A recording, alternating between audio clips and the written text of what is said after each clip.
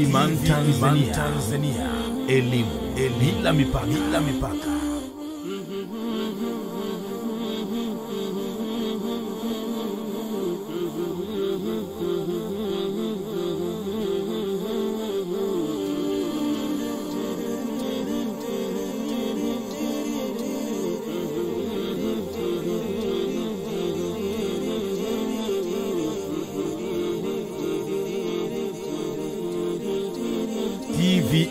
Tanzania, Tanzania. Elimu, elimu. Bila mipaka,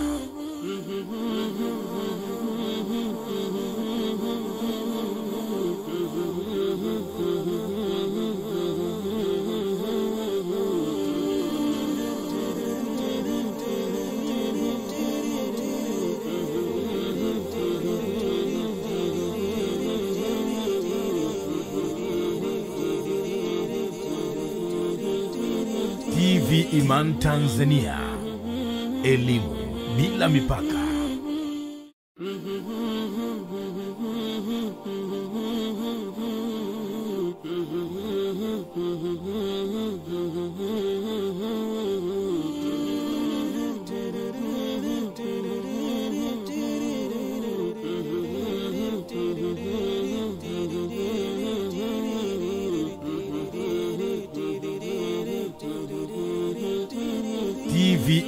Tanzania.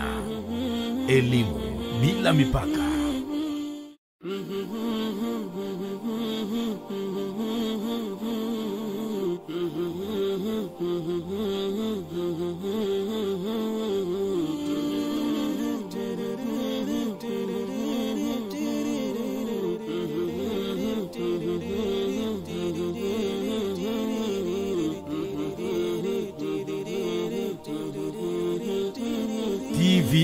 Tanzania. Elimu bila mipaka.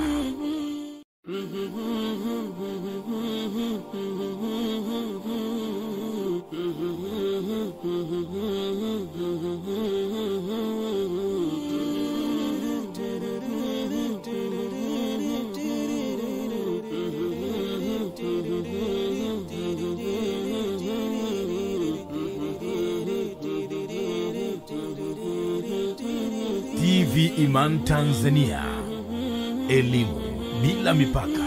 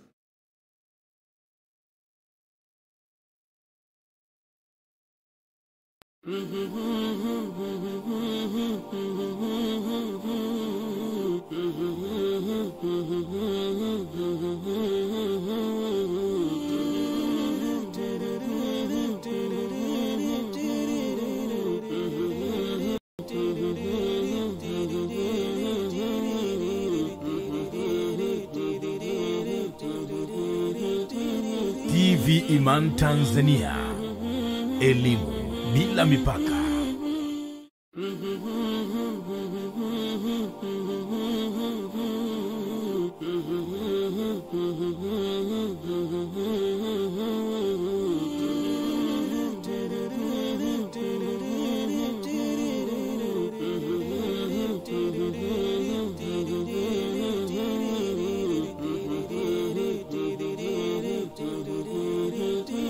TV Iman Tanzania.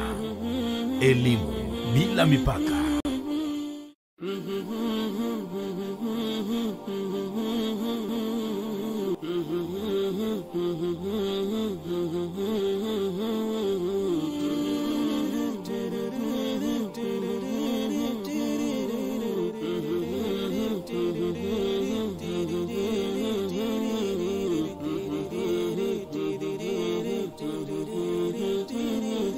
Iman Tanzania, elimu bila mipaka.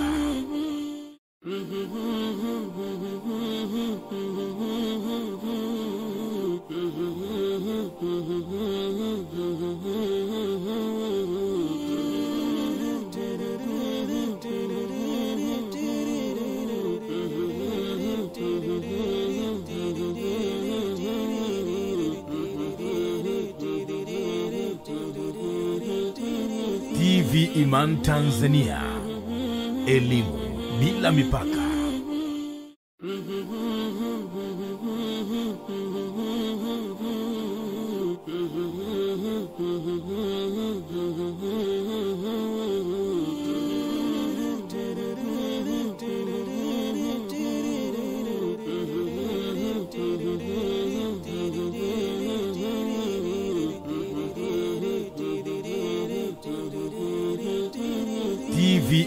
Tanzania, elimu bila mipaka.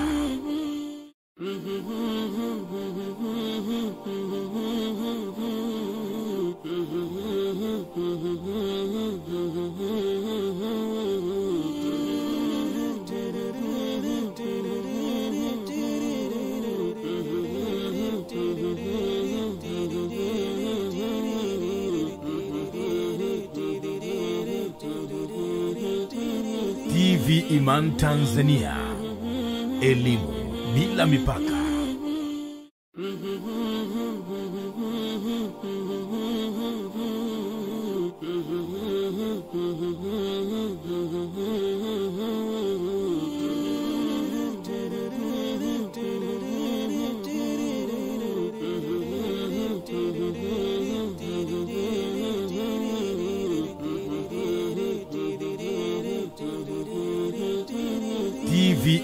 Tanzania, elimu bila mipaka.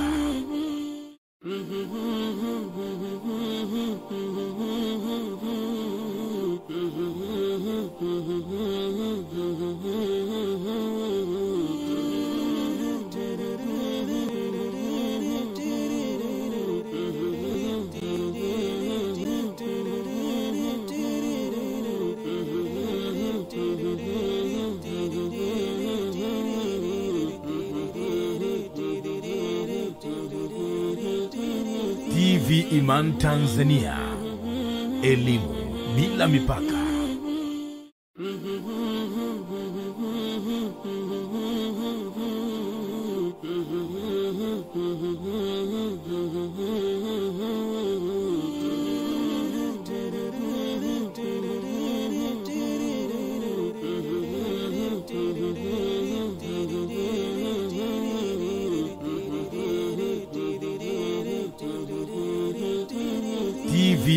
Tanzania, elimu bila mipaka.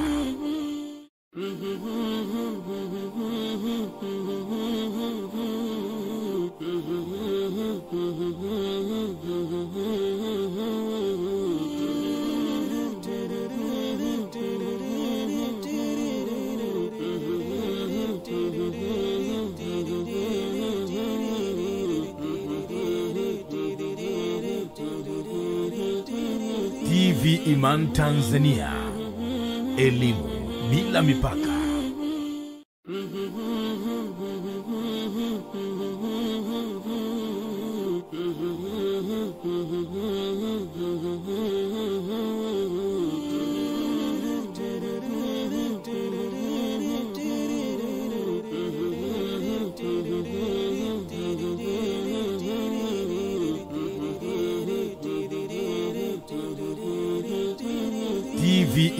Tanzania, elimu bila mipaka.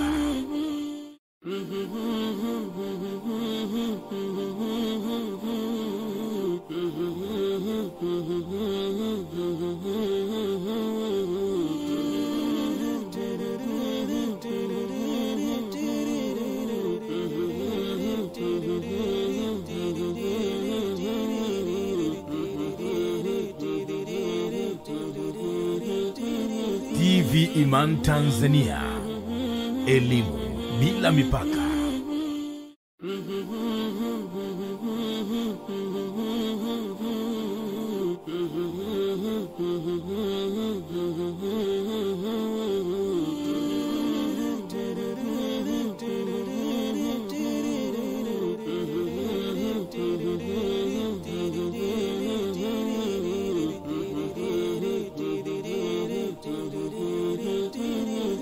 TV Iman Tanzania, elimu bila mipaka.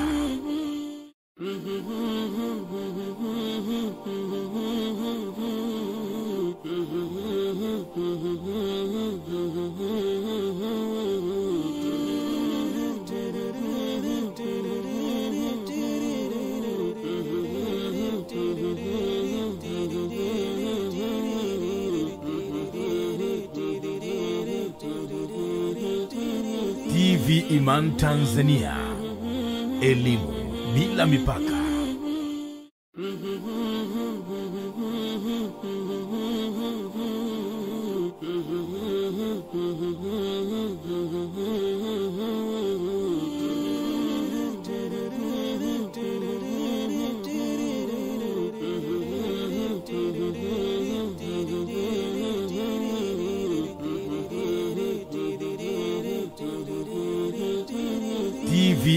Tanzania, elimu bila mipaka.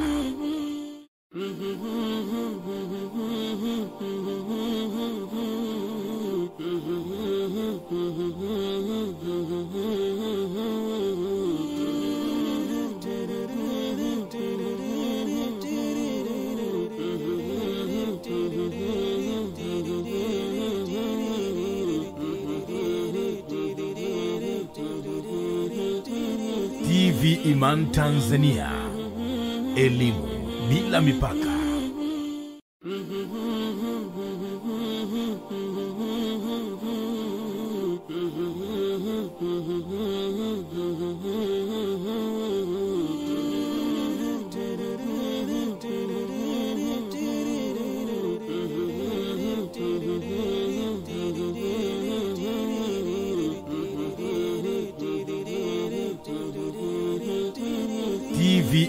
Tanzania, elimu bila mipaka.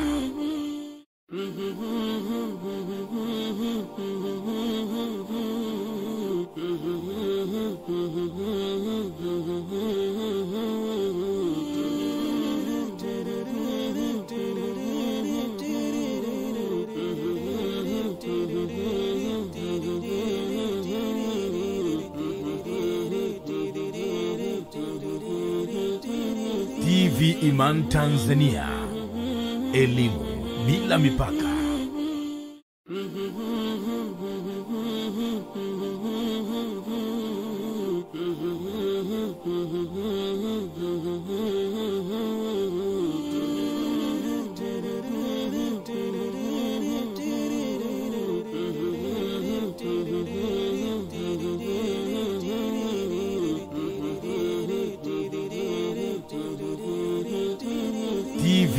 Iman Tanzania, elimu bila mipaka.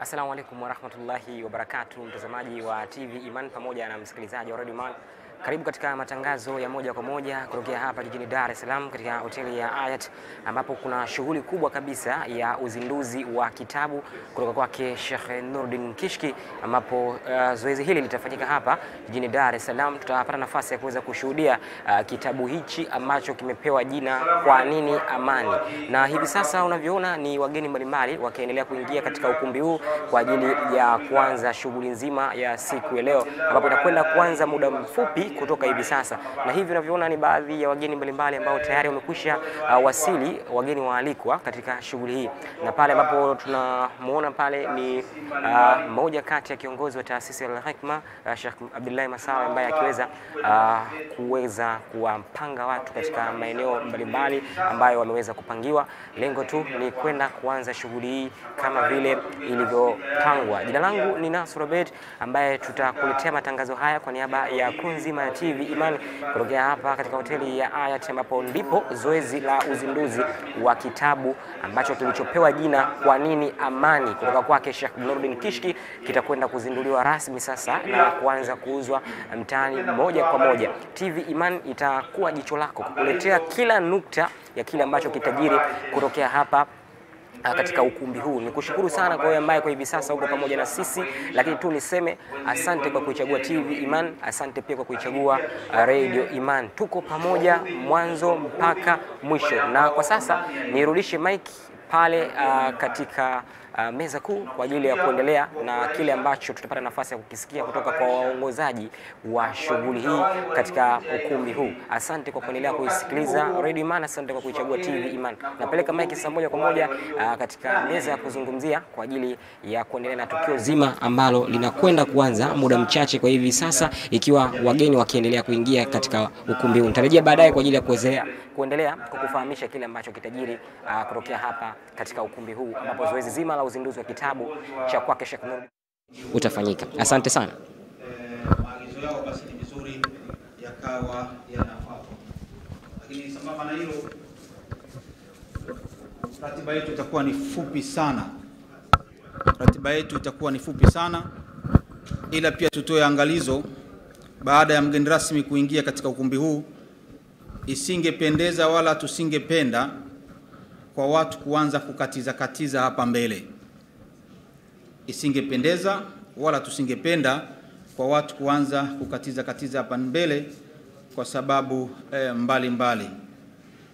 Hivyo basi shughuli yetu ya leo ni shughuli ya uzinduzi wa kitabu cha Kwa nini Amani.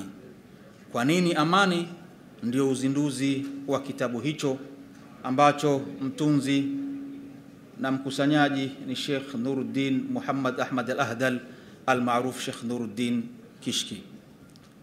Natambua uwepo wa mashekhe mbalimbali kutoka sehemu mbalimbali, lakini pia natambua uwepo wa viongozi wa kamati ya amani kutoka katika madhehebu mbalimbali. Jambo hili ni jambo la kiamani, hivyo basi ni muhimu uwepo wa viongozi wa kamati ya amani ya mkoa wa Dar es Salaam na hivi punde tu pia mwenyekiti wao Sheikh Al-Hadi Musa Salum almaruf An-Nakshabandi naye ataingia katika ukumbi huu. Hivyo basi tunafahamu na tunatambua uwepo huo wa viongozi hao wa kamati ya dini tunatambua uwepo wa viongozi wa taasisi mbalimbali mbali. Tunatambua uwepo wa waandishi wa habari kati, kutoka katika vyombo mbali mbali. Kwa hiyo tunaomba eh, protoko ya eneo hili izingatiwe. Mara tu mgeni rasmi atakapoingia ukumbini, basi shughuli yetu inaanza, na nimepewa taarifa tu hapa hivi sasa wamemfuata kwa ajili ya kumleta mgeni rasmi. Shukran.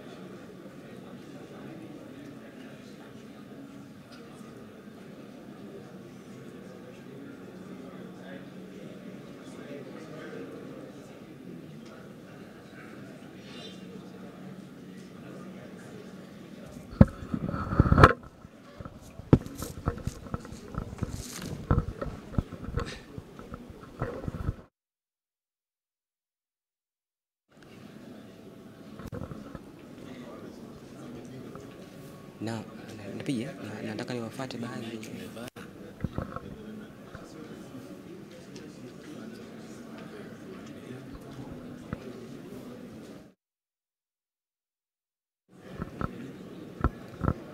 Na mtazamaji wa TV Iman, uh, bado uh, wageni wakiendelea kuingia katika ukumbi huu kwa ajili ya zoezi zima la uzinduzi wa kitabu ambacho kimepewa jina Kwa nini Amani kutoka kwake uh, Sheikh Nurdin uh, Ahmad Kishki, na leo tutakwenda kushuhudia zoezi zima la shughuli hii ya uzinduzi wa kitabu hichi. Tunafahamishwa tayari mgeni um, rasmi ambaye ni uh, rais mstaafu wa awamu ya pili Mheshimiwa Ali Hassan Mwinyi ndio mgeni rasmi wa shughuli hii, na hivi ninavyozungumza ndio anakwenda kuingia sasa. Ehe, mzee mzee wetu Ali Hassan Mwinyi rais mstaafu ndio anaingia katika ukumbi huu moja kwa moja kwenda kuketi katika sehemu ambayo ameweza uh, kuandaliwa, na wakati huu sasa tunakwenda kurudisha maiki kwa ajili ya kuendelea na shughuli yetu ambayo iko hapa katika ukumbi wa Ayat. Eh, ndio mgeni rasmi wetu wa leo akisambamba akiongozana na Sheikh Sharif Abdul Qadir Muhammad Ahmad Al Ahdal eh, kiongozi mkuu wa taasisi Al Hikma, lakini sambamba na yeye akiongozana na shekhe wa mkoa ndugu yetu kaka yetu eh, na mwenyekiti wa kamati mwenyekiti na muasisi wa kamati za amani nchini Tanzania eh, Sheikh Alhadi Musa Salum An-Nakshabandi. Basi inshallah naomba tukae ili tuweze sasa eh, kufuata ratiba yetu. Bismillahi rahmani Rahim. Eh, ndugu wageni waalikwa, karibuni sana katika shughuli yetu hii. Shughuli yetu itakuwa ni fupi sana kwa siku ya leo eh, kutokana na mambo au majukumu mbalimbali mbali ambayo eh, pia vile vile mgeni rasmi eh, yanamsubiri. Shughuli yetu ya leo ni shughuli ya uzinduzi, uzinduzi wa kitabu hichi kama ilivyoandikwa hapa nyuma kwenye bango hili eh, hafla ya uzinduzi wa kitabu cha Kwa nini Amani. Kwa nini Amani ndicho kitabu ambacho insha Allah biidhnillah leo kitazinduliwa. Hii ndio shughuli yetu kubwa ya leo, na kitabu hiki mtunzi wake ni Sheikh Nurdin Muhammad Ahmad Al-Ahdal eh, kwa jina maarufu Sheikh Nurdin Kishki. Kama nilivyosema hapo awali ya kwamba eh, mgeni rasmi katika uzinduzi huu ni Alhaji Ali Hassan Mwinyi eh, rais mstaafu wa awamu ya pili, lakini sambamba na hilo eh, ni mlezi mkuu wa taasisi ya Al Hikma Foundation. Eh, hivi sasa baada ya mgeni rasmi kuingia ukumbini e, tutaanza shughuli yetu na ufunguzi wa Qur'ani. Tutaanza shughuli yetu na ufunguzi wa Qur'an, na mfunguzi wa Qur'ani huyu atakuwa ni al-Ustadhi Mbwana Dadi. Al-Ustadhi Mbwana Dadi ndiyo atakayekuwa anafungua shughuli yetu hii. Ustadhi Mbwana Dadi, popote ulipo, tafadhali sogea hapa mbele utusomee aya chache katika Qur'ani. Huyu Ustadhi Mbwana Dadi ni mmoja katika walimu wa pale katika taasisi yetu Al-Hikma Foundation, lakini pia ni mshindi wa mashindano ya Qur'ani mwaka gani bwana? 2018 pale uwanja wa Taifa. Eh, 2018 pale uwanja wa Taifa ndo alikuwa mshindi aliyeshinda zaidi ya nchi kumi na nane mpaka ishirini. Karibu, falyatafadhal.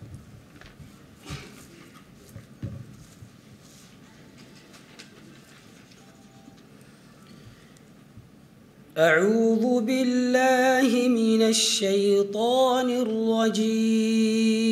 الرجيم بسم الله الرحمن الرحيم.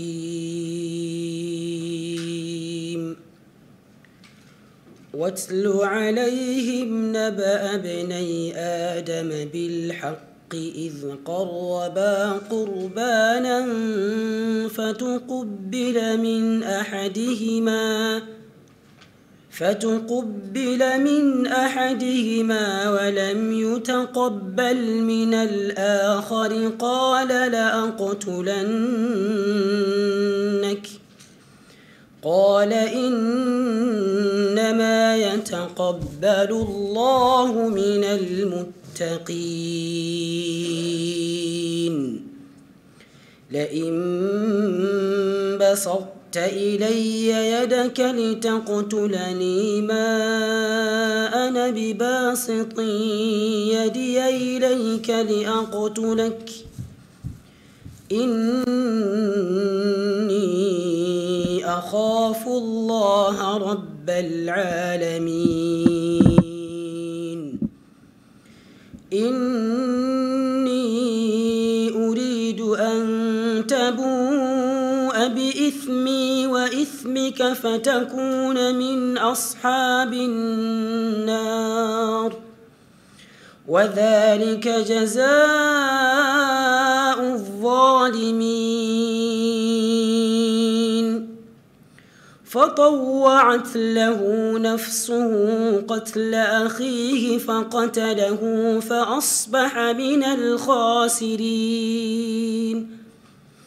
فبعث الله غرابا يبحث في الأرض ليريه كيف يواري سوءة أخيه. قال يا ويلتى أعجزت أن أكون مثل هذا الغراب فواري سوءة أخي فأصبح من النادمين.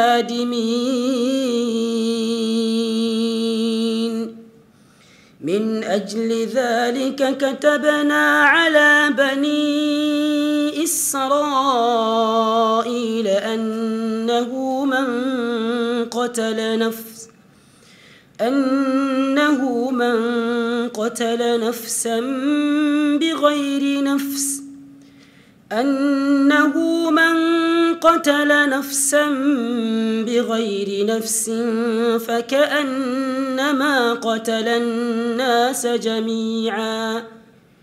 ومن أحياها فكأنما أحيا الناس جميعا.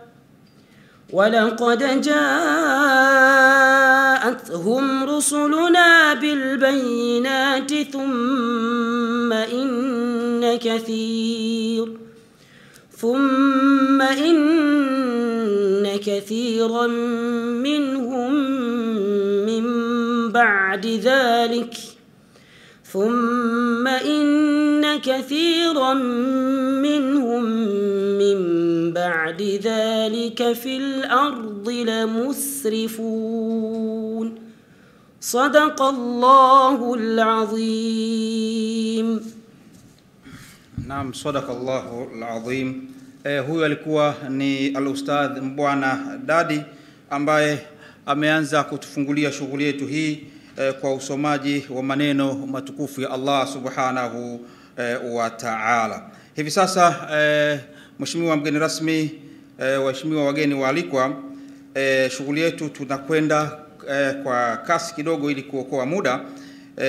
Hivi sasa atakuja uh, mwalimu Salum Hussein Kiza ambaye ni maelezo ya wakusanyaji. Yeye ni katika wale ambao jopo lilokuwa likikaa na shekhe eh, kisha shekhe anasema kitabu changu nataka kiwe hivi kiwe hivi kiwe hivi, aya fulani kadha, hadithi fulani kadha, maneno akwali shekhe akizitoa za maulama wamezungumzia amani kadha kadha kadha.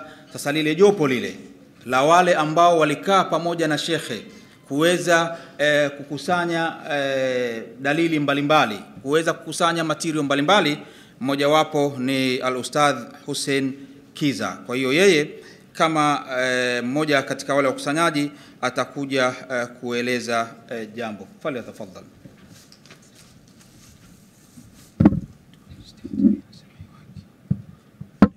Assalamu alaikum warahmatullahi wabarakatuh. Naam, nimesimama hapa mbele ku, kusema neno kwa niaba ya wakusanyaji wenzangu. Kwanza awali tunamshukuru Mwenyezi Mungu muumba na muweza wa kila jambo, mwenye utashi sawia na raghba tukufu, raghba zenye kheri kwa waja wake. Aidha, tunatumia fursa hii kumshukuru Rais wa taasisi ya Al-Hikma Foundation Sheikh Sharif Abdul Qadir, mkurugenzi mkuu na viongozi wengine wote kwa fursa hii tuliyopewa, na kwa niaba ya wenzangu naomba nieleze mambo mawili. Kwanza nieleze mtunzi wa kitabu ni nani, lakini nieleze kwa ufupi mchakato wa uandishi wa kitabu ulikuwaje. Wasifu wa mtunzi na saba.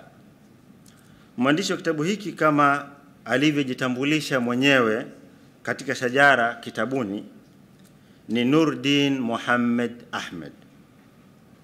Sheikh Nuruddin amekuwa maarufu sana hapa Tanzania, Afrika Mashariki na maeneo mengine duniani kwa jina la Nuruddin Kishki, ambalo jina hili si halisi.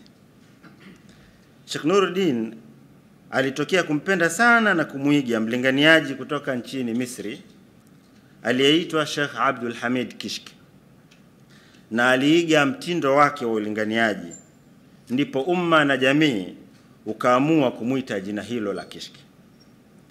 Ameendelea kutambulika hivyo kiasi mpaka watu wapo wengi tu ambao hawajui jina lake halisi. Kwa dhamira ya kufanya umma ujue jina lake halisi na ukweli kuhusu ukoo anaotokana nao ambao pia unaungana na ukoo wa Bwana Mtume Muhammad sallallahu alaihi wasallam. Katika kitabu chake ametaja ukoo wote kwa urefu katika shajara. Humo amejitambulisha kuwa jina lake halisi anaitwa Sayyid Nuruddin bin Muhammad بن أحمد بن الهادي بن ناجي بن صالح بن عبد الله الأهدل بن, س... بن السيد أبي بكر ابن علي الحيدرة بن أبي بكر بن أبي القاسم بن محمد بن علي بن عمرو بن عمر بن الشيخ الكبير علي الأهدل بن عمر بن محمد بن سليمان بن عبيد بن عيسى بن علوي بن محمد بن حمحام بن عون بن موسى القاذم بن جعفر الصادق بن محمد الباقر بن علي زين العابدين بن الحسين السبط بن سيدنا علي بن أبي طالب بن فاطمة الزهراء بنت محمد صلى الله عليه وسلم. Maelezo haya hayalengi kujifaharisha na wala hayazuii umma kuendelea kumwita kwa jina na lakabu maarufu ya Kishki walioizoea, bali yanalenga kuweka bayana ukweli kuhusu jina lake halisi. Kazi ya ulingani- ulinganiaji. Sheikh Nuruddin Kishki ana miaka 25 sasa katika kazi ya ulinganiaji. Katika muda huo ametembelea mikoa yote ya Tanzania bara na visiwani isipokuwa mkoa mmoja tu ambao ni mkoa wa Ruvuma, licha ya kupata mialiko mingi kwenda huko. Katika ziara hizo ametembelea mijini na vijijini kuuzindua umma kutenda matendo mema anayoyaridhia Mwenyezi Mungu, kuwa na maadili mema na kuhamasisha amani na utangamano mwema baina ya wanajamii. Nje ya Tanzania ameshatembelea nchi kadhaa za ukanda huu wa Afrika Mashariki, Afrika ya Kati, bara hili na bara hili la Afrika. Nchi hizo ni Kenya, Uganda, Rwanda, Burundi, Congo DRC, Zambia, Msumbiji na Afrika ya Kusini. Katika bara Arabu amefika Dubai katika falme za Emirates, Oman na Saudi Arabia. Ziara ya Saudi Arabia ilikuwa ni ya kulingania na ziara hiyo ilitokana na mwaliko aliopewa na Umoja wa Wafanyakazi wa Msikiti wa Makka ambao wanatoka nchi za mwambao wa Afrika Mashariki ili aende kwenye msikiti wao uliopo katika mji wa Makka kwa ajili ya kulingania. Aidha, Sheikh ametembelea nchini Marekani na majimbo saba ya Marekani amefika. Makongamano. Sheikh pia amehudhuria makongamano mbalimbali mbali ya ndani na nje ya nchi. Miongoni mwa makongamano hayo ni lile la Kampala, Uganda, kongamano la Journey of Faith Rihlatul Imani la kila mwaka nchini Kenya na kongamano alilofanya katika jimbo la Minnesota nchini Marekani.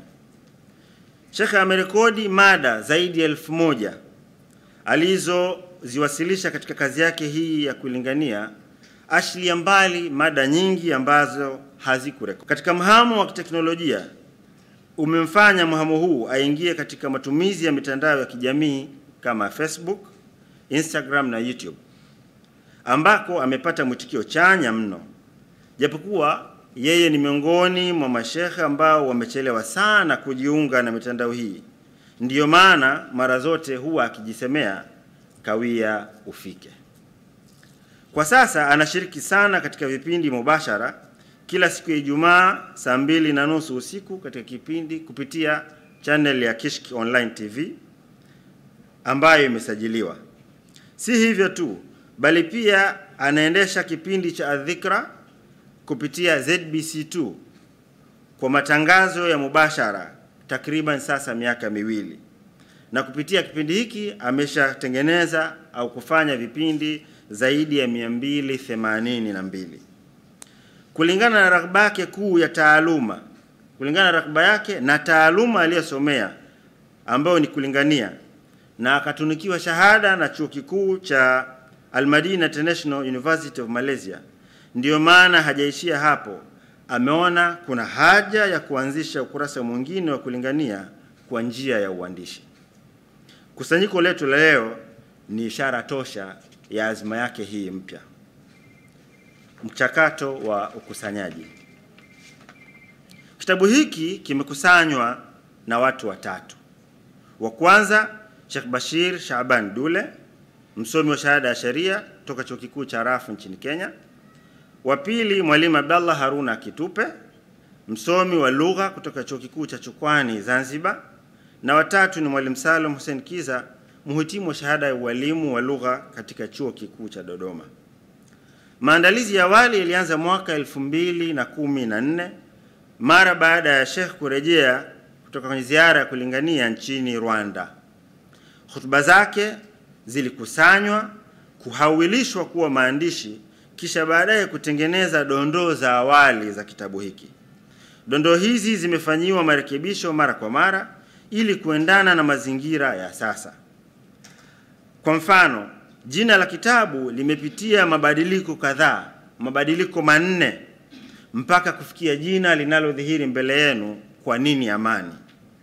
Hatua nyingine ilikuwa ni kuandika maudhui kwa kutumia dondoo husika na baadaye kukaa na kupitia dondoo moja moja ili kudhibiti usahihi wake. Mtunzi amechukua muda mrefu sana kuhakikisha kuwa maudhui ni sahihi na marejeo au marejeleo yake yapo. Kazi ya kuhariri maudhui haikuwa nyepesi na ilichukua muda na juhudi kubwa.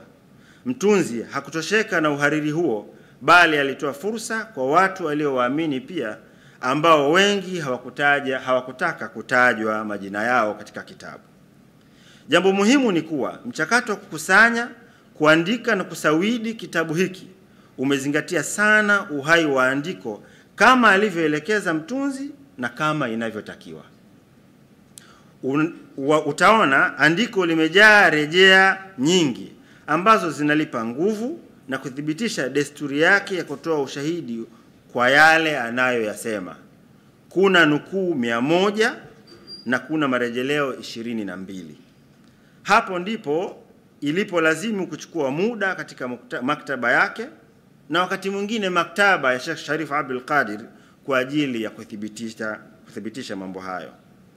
Kwa desturi yake hii kitaaluma ya kuthibitisha yale anayoyasema, ndiyo maana hata ukoo wake ambao nimeutaja ameuthibitisha kwa rejea ya babu yake wa tisa katika ukoo aitwaye Ashekh Abu Bakar ibn, ibn Abil Qasim al-Ahdal kwa kitabu kiitwacho Al-Ahsabu al-Ulya fi al-Ansabi cha mwaka 2011 kilichapishwa na Daru Alkutubi Alyamania.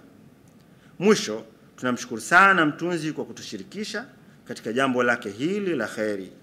Ilikuwa ni fursa adhimu sana kwetu, ambayo kwetu tunaamini itakuwa endelevu na yenye kuwezesha kupata radhi za Mwenyezi Mungu kwetu sisi, wadau wote watakao kisomwa hiki na umma kwa ujumla.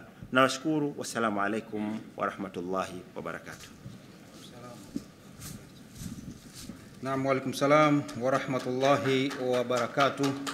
Ni al-Ustadh Salum Kiza huyo, mmoja katika wakusanyaji wa rejea mbalimbali e, kama nilivyomsikiliza maelezo haya. Kwa kweli ni maelezo ambayo yanavutia na kupendeza sana kutokana na asili ya jambo lenyewe e, kutoka kwenye fasihi simulizi e, kuja kwenye fasihi andishi. Wale wa wenzangu waliokwenda shule kidogo wanaofahamu habari za, za lugha ya Kiswahili, kuna kitu kinaitwa fasihi simulizi na fasihi. Kwa hiyo shekhe kuona tu kwamba ameongea sasa, anaona sasa aache athari ya maandishi ambayo athari hii e, ni bora zaidi na vizazi na vizazi e, vitakuja kufaidika nayo, kwani leo hii e, unataja mashehe mbalimbali e, wanazuoni mbalimbali wakubwa na rejea mbalimbali. Hizi sio kwa maana kwamba waliweka kwenye CD zama hizo, la, bali waliandika na wakaacha, na mpaka leo tunawataja kwa wema, kwa uzuri kabisa, na pengine tunasema Mwenyezi Mungu Subhanahu wa Ta'ala awasamehe huko alioenda, Allah Subhanahu wa Ta'ala awape e, janna. Na hili pia tunategemea insha Allah kwa kazi hii kubwa, Allah Subhanahu wa Ta'ala atamlipa naye Sheikh Nuruddin Kishki kwa juhudi hizi kubwa. Mheshimiwa mgeni rasmi, e, baada ya kupata maelezo hayo sasa ya moja katika wakusanyaji, shughuli yetu kama nilivyotanguliza kusema hapo awali ni fupi sana. Lakini kitabu hiki mheshimiwa mgeni rasmi e, kimefanywa kitaalamu zaidi, kimekuwa kitaalamu zaidi kwa sababu ha, hatukukurupuka tu. Yani from nowhere kwamba nataka kuandika kitabu eh, siku mbili tatu kitabu kikatoka, la, bali ukiangalia hata kitabu chenyewe kina quality, kinaendana. Unajua kuna, kuna, kuna, kuna jambo akifanya mtu wa kawaida tu eh, utashangaa mbona jambo hili kalifanya mtu huyu e, wa kawaida e, yani mtu akifanya mtu mkubwa unaweza ukashangaa mbona jambo hili kalifanya anaonekana la ovyo ovyo, lakini kuna jambo ukifanya unasema ala, naam, hili amelifanya Sheikh Al-Hadi, basi inaendana na wasifu wa Sheikh Al-Hadi. Sisi tunaelewana vizuri, na hili amefanya Sayyid Abdul Qadir linaendana na wasifu wa Sayyid Abdul Qadir, ila amelifanya nitumie neno hili, maanake wengi walikuwa eh, hawafahamu kama Sheikh Nuruddin Kishki naye ana nasabu ya Mtume Muhammad sallallahu alaihi wasallam. Nitumie neno hili leo eh, tuseme eh, leo neno hili linatumika au nalo linazinduliwa rasmi kwamba hili amelifanya Sayyid Nuruddin, tumswalie Mtume Sayyid Nuruddin Muhammad bin Ahmad al-Ahdal. Eh, unasema eh, hii sasa kwa hivi ilivyo inaendana na yeye. Sasa hili mgeni rasmi ikapelekea kuwatafuta na kukaa nao watu wa BAKITA, Baraza la Kiswahili Tanzania, kwanza waanze kupitia, kisha wasahihishe, kisha watoe ruksa. BAKITA ni Baraza la Kiswahili Tanzania. Hivyo basi kitabu hiki kimepitia katika bali na michakato mingine kabla ya BAKITA, kupitia kwa baadhi ya mashehe, kupitia kwa baadhi ya waandishi wa habari, kupitia kupitia kupitia, lakini hatua ya mwisho ni kwamba BAKITA nao wametia baraka zao. Kwa hivyo hivi sasa atakuja mchunguzi wa lugha mwandamizi eh, anaitwa Bwana Musa Ramadhan Kaoneka kutoka BAKITA, naye aweze kutoa neno lake. Bwana Musa Kaoneka, popote ulipo, eh, basi karibu sana hapa ili uweze kuzungumza. Tafadhali.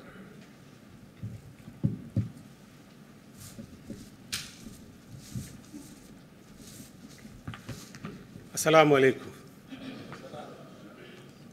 Ah, kwanza tumshukuru Mwenyezi Mungu kwa kutuwezesha kukutana leo, lakini pia uh, tumshukuru ambaye ameweza uh, uh, ametuita leo tukaweza kukutanika Sheikh Nuruddin. Mimi kama alivyosema eh, mshereheshaji ni mchunguzi lugha mwandamizi Baraza la Kiswahili la Taifa. Yeye amesema Baraza la Kiswahili Tanzania ni Baraza la Kiswahili la Taifa. Sasa Baraza la Kiswahili la Taifa ni taasisi ya serikali ambayo iko chini ya Wizara ya Habari, Utamaduni, Sanaa na Michezo ikiongozwa na Mheshimiwa Waziri Harrison Mwakiembe. Kazi kubwa ni kufuatilia matumizi ya lugha, na baada ya kitabu hiki kukamilika kuandikwa maudhui, lazima kupitiwe lugha ili Watanzania wanaojua lugha wakipita waone aliandika kitabu ni Mswahili na Kiswahili anakijua. Shukrani za pekee eh, nizi, ni, nizipeleke kwa mwandishi wa kitabu Sheikh Nurdin Kishki, kwanza kwa uteuzi wa maneno katika kuandika kitabu hiki, lakini pia kwa maudhui eh, ya kitabu ambayo yanamfanya kila mtu asome. Nikisema kila mtu, manake bila kubagua dini tofauti, mtu yeyote anaweza kusoma kitabu na kitakachoonekana eh, kwamba kimeandikwa na shehe ni kwa sababu aliand- aliandika amejitambulisha kama shehe, lakini mtu yeyote anaweza akasoma maudhui yale na akaridhika kwamba kitabu kweli kimeandikwa na mtu mweledi wa uandishi. Lakini jambo jingine, kitabu kimekuja wakati mwafaka, wakati ule ambao amani inasemwa eh, midomoni mwa watu wa sasa hivi. Kwa namna tunavyoelekea, amani inazungumzwa zaidi kuliko jambo jingine lolote. Sasa baada ya kupitia lugha, ambacho niliona ni kwamba kwanza nimesema uteuzi wa maneno, lakini pia eh, namna ya kupanga hoja hizi, namna ya, ku, ya kupanga eh, unapanga hoja na kuzinasibisha na neno la Mwenyezi Mungu, kwa sababu sisi wa- wachunguzi lugha eh, mtu anaweza kujiuliza mchunguzi lugha kazi yake nini? Sisi kazi yetu ni kufuatilia matumizi ya lugha, na mimi kwa asili ni mwalimu, nina shahada ya walimu eh, Kiswahili na Kiingereza, na Kiswahili ndio kimenifanya nikaingia Baraza la Kiswahili la Taifa. Sasa nilichoona eh, mwandishi ana weledi wa lugha eh, ambacho nimefanya kusahisha mimi ni tahajia. Tahajia kwa, ma, kwa maana ya neno hofu eh, labda alivyoliandika akaandika ile hofu, anataka na matamshi yale ya hofu yenyewe yanavyotamkwa itamkwe kwa kuanza na K alafu ukaweka H ikawa hofu. Eh, basi labda mimi nikasema pale eh, katika Kiswahili baada ya kulipokea neno kutoka katika Uarabu e, ama katika lugha nyingine tuna namna ambavyo ya kutohoa maneno hayo, unalilainisha utamke e, Kiswahili. Kwa hivyo mm, au neno, neno takbiri kwa mfano ukiliandika kwa, kwa namna lilivyotoka katika Kiswahili hatuna ile kiu eh, ambayo ndio ingekidhi ile takbiri isomeke kama ambavyo wenyewe unatamka. Sasa sisi utakuta unaandika labda k ya kawaida eh. Kwa hivyo ametumia hayo maneno eh, eh, yani ambalo limesaisha sana sana ni, ni, ni, ni vitu kama hivyo hofu eh, neno, neno, neno mm, fikra ukaliandika fikira, maana ndio Kiswahili chetu hicho, natahajia ndivyo ilivyo mm. Lakini pia mwandishi ni msifu kwa kuongezea msamiati ambao mimi nilikuwa siujui. Kwa mfano neno hiliki mm, kuhiliki katika tamaa kwa mfano eh. Kwa hilo tu niseme kwamba mm, baada ya kusoma kitabu hiki Sheikh Nuruddin Kishki, naweza kusema na wewe umekuwa mchunguzi lugha. Usishangae siku nyingine eh, tukikupigia simu tukakuomba mm, kutueleza tafsiri ya maneno ya haya ambayo tumeyapokea katika lugha nyingine ili uweze kuyaweka sawa. Mm. Baada ya kuyasema hayo, niseme tu kwamba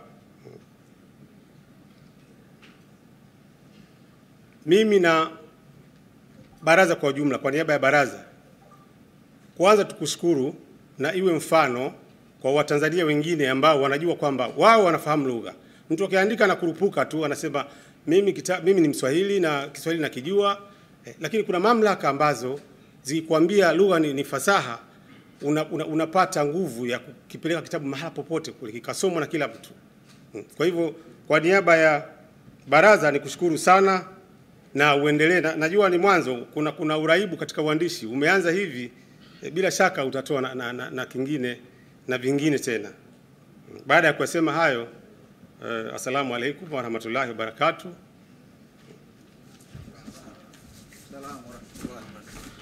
Waalaikum salam warahmatullahi wabarakatuh. Huyo ni mchunguzi wa lugha, mchunguzi sio mchunguzi tu, ni mchunguzi mwandamizi wa lugha eh, kutoka BAKITA, Baraza la Kiswahili eh, la Taifa, mchunguzi eh, Musa Ramadhani Kaoneka. Mheshimiwa mgeni rasmi, Waarabu wana msemo wao unasema, man takallama fi ghairi fannihi ata bil ajaib, mwenye kuzungumza jambo sio fani yake ataleta vichekesho. Kwa hiyo tunaona kabisa eh, ndugu yetu ni fani yake na mtunzi pia amesifiwa katika, katika utunzaji au utungaji wa, wa, wa, wa ma, kitabu chake na jinsi alivyotumia e, lugha yake katika kufikisha e, jambo lake e, hilo. Kwa hiyo e, tunaona kabisa kwamba hii ni fani ya, ya kuzingatia kabisa na ni fani inayoeleweka. Sasa baada ya hivi e, Mheshimiwa mgeni rasmi, lakini ningependa tu utambue tuna vyombo vya habari mbalimbali mbali. Tuna Azam TV, tuna Star TV, e, tuna e, vyombo vya habari mbalimbali e, Imani Media ambazo nazo zote ziko hapa, lakini vile vile tuna blogs mbali mbali eh, tuna Channel 10 pia vile vile eh, tuna TBC, tuna EATV, tuna Clouds TV, tuna ETV, tuna blogs mbali mbali ambazo hivi sasa matangazo yetu haya yanaruka mubashara duniani, sio Tanzania, duniani kote. Na hata mimi rafiki zangu ambao wako nje ya nchi wananiambia, Masawe, tunaona uzinduzi wa kitabu chenu hichi kuonyesha kwamba sasa hivi e, dunia imekuwa kama kijiji. Kwa hiyo tuna vyombo vya habari mbalimbali, lakini pia vile vile e, tuna e, magazeti, tuna magazeti kwa maana ya vyombo vya habari nao e, magazeti mbalimbali mbali. Sambamba na hilo, mheshimiwa e, mgeni rasmi e, tunao viongozi mbalimbali mbali. tunao viongozi mbalimbali mbali wa taasisi mbalimbali ambao wamejumuika na sisi eh, leo kuweza kukamilisha hafla yetu. Kwa mfano, Mheshimiwa mgeni rasmi eh, tunaye au tunao Sheikh Talib Ahmad. Sheikh Talib Ahmad tunaye katika hafla hii, Sheikh Hamid Abdallah tunaye katika hafla hii, Nasir Amru Nasri, Sheikh Nasir Amru nasiri tunaye katika hafla hii, Sheikh Abu Rayyan, Sheikh Suleiman huyu eh, ni imamu kule msikiti wa Mtambani tunaye katika hafla hii, Sheikh Ali Asa tunaye katika hafla hii, Sheikh Muhammad Khalifa tunaye, Sheikh Hashim Madenge tunaye, Sheikh Hassan Katungunya na wengine wengi tunao. Lakini sambamba na hilo tunayo kamati ya amani ya mkoa wa Dar es Salaam, kamati ambayo imefanya kazi kubwa sana sana sana katika jiji hili la Dar es Salaam na Tanzania kwa ujumla, ikiongozwa na kaka yetu ndugu yetu Sheikh Alhadi Musa Salum An-Nakshabandi ambaye ndio mwenyekiti wa kamati hii ya amani.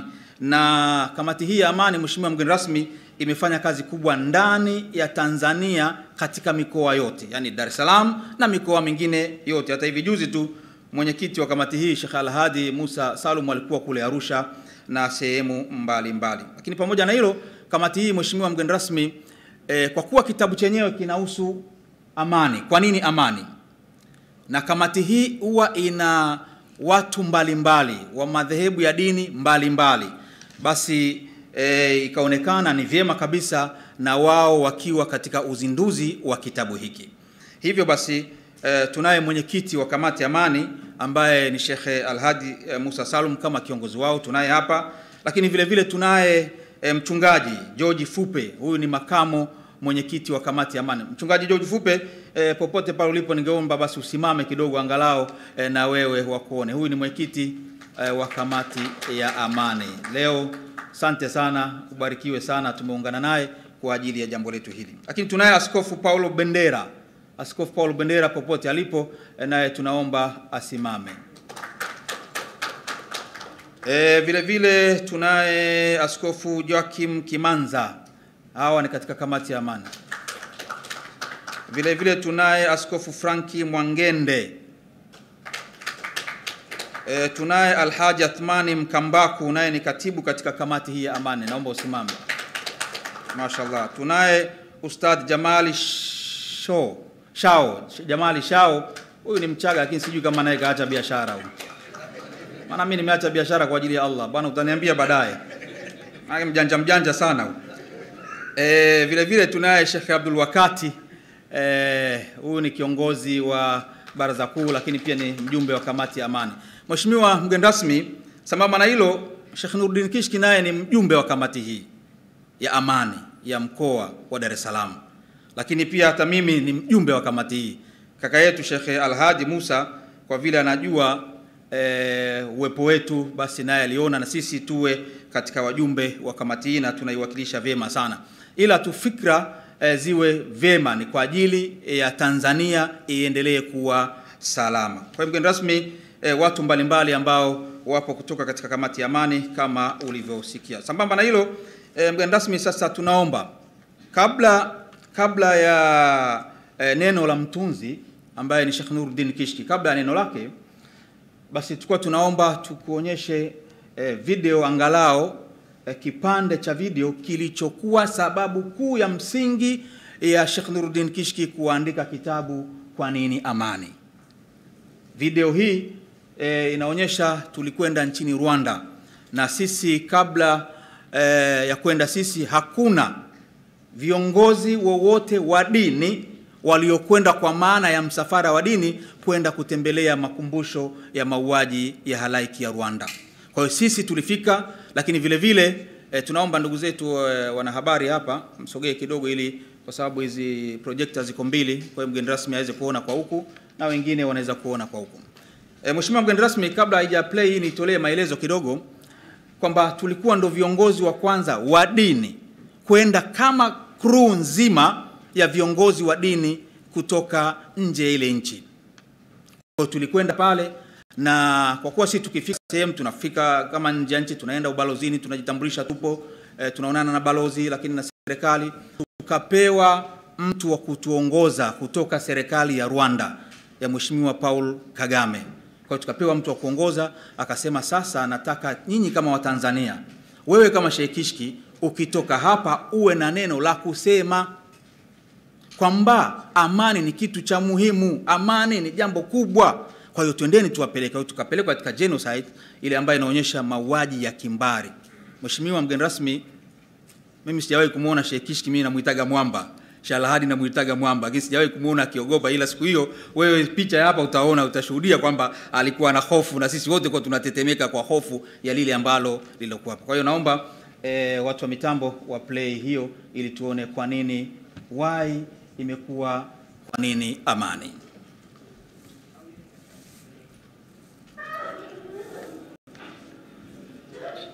Hiyo ni mifupa ya watu ambao wameuliwa, na hapo tumeingia e, katika jumba hilo la makumbusho. Ni mifupa ya watu, sio ya mbuzi. Hao ni watu wanakuja kuangalia, kujikumbusha, na ilikuwa ni miaka ishirini e, baada ya mauaji hayo. Hii kabla kabla ya mauaji hayo kutokea, hichi ilikuwa ni chumba cha darasa la nasari ambapo watoto walikuwa wakikaa na wakisomea, na kama tunavyoona, hii ni aina ya mabenchi ambayo mtoto alikuwa ana uwezo wa kukaa hapa namna hii na kuandika katika daftari lake. Lakini kilichotokea wakati wa mauaji hayo, eh, wauaji walikuja kuwaua, eh, walivamia hadi eneo hili na eneo hili ambalo unaliona ilikuwa ni mtoto anakamatwa anakamatwa miguu kisha kichwa chake kinapigwa ukutani.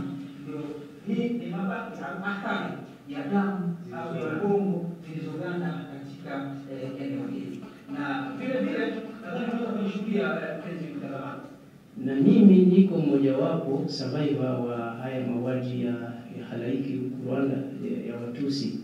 Kwa hiyo na mimi nimebaki mwenyewe kwa familia nzima. E, niko survivor mtu mmoja niliyobaki kwa familia yangu. Naam, lakini tumepokea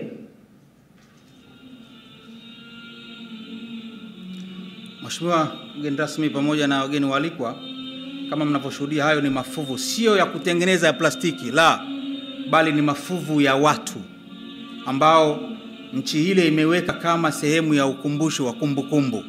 Na yule aliyopita nyuma tu eh, ni kijana ambaye familia yake yote imeteketea kwa vita. Kwa nini? Pua yako wewe pana, pua yako wewe nyembamba.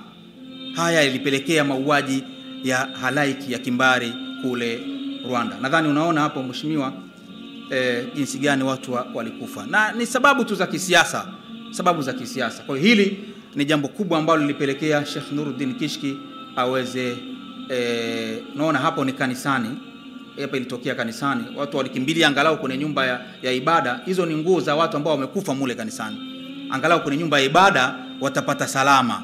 Lakini wale watu ambao wana roho mbaya waliua watoto mule, waliua kina mama mule, waliua vikongwe mule, kama unavyoshuhudia hili. Kuanzia siku hiyo, Sheikh alisema lazima nitunge kitabu kinachoelezea umuhimu wa amani. Nadhani unaona hapo eh, mheshimiwa mgeni rasmi ni jambo ambalo linasikitisha sana. Hakuna aliyeingia mule ya kutoa chozi, Hakuna, hakuna aliyeingia katika makumbusho hayo hakutoa chozi. Na sisi tuliwauliza kwa nini mmewacha hii, anasema hii ili isije ikarudia tena. Kwa hiyo kila ikifika tarehe kama ile ya mauaji, basi huwa wanaruhusiwa kwenda. Hapa tulikuwa tunatoka eh, katika eneo hilo ambalo ina underground kama ghorofa nne kwenda chini, ambayo imepangwa mafuvu ya watu wengi sana. Kwa hiyo Mheshimiwa mgeni rasmi, hii ndo sababu kuu, pamoja na sababu ziko kama mbili tatu ya Sheikh Nuruddin Kishki, Mungu kumwafikisha kutunga kitabu hichi kwa nini amani. Mheshimiwa mgeni rasmi, pamoja na wageni waalikwa, sasa basi nimkaribishe eh, narudia tena kusema eh, leo watu watambue Asayid Nuruddin Muhammad Ahmad Al-Ahdal, yeye eh, mtunzi na mwandishi na mwandaji wa kitabu hichi Sheikh Nuruddin Kishki, ili aweze kuja kutoa eh, neno, lakini sambamba na hilo na pia eh, shukurani eh, kwenu eh, nyinyi pamoja na kwako mgeni rasmi. Fale tafadhal.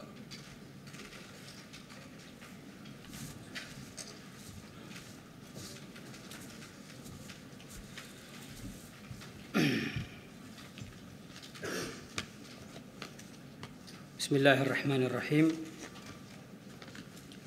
الحمد لله رب العالمين والصلاة والسلام على أشرف الأنبياء وإمام المرسلين سيدنا محمد وعلى آله وصحبه أجمعين. رب اشرح لي صدري ويسر لي أمري واحلل عقدة من لساني يفقه قولي.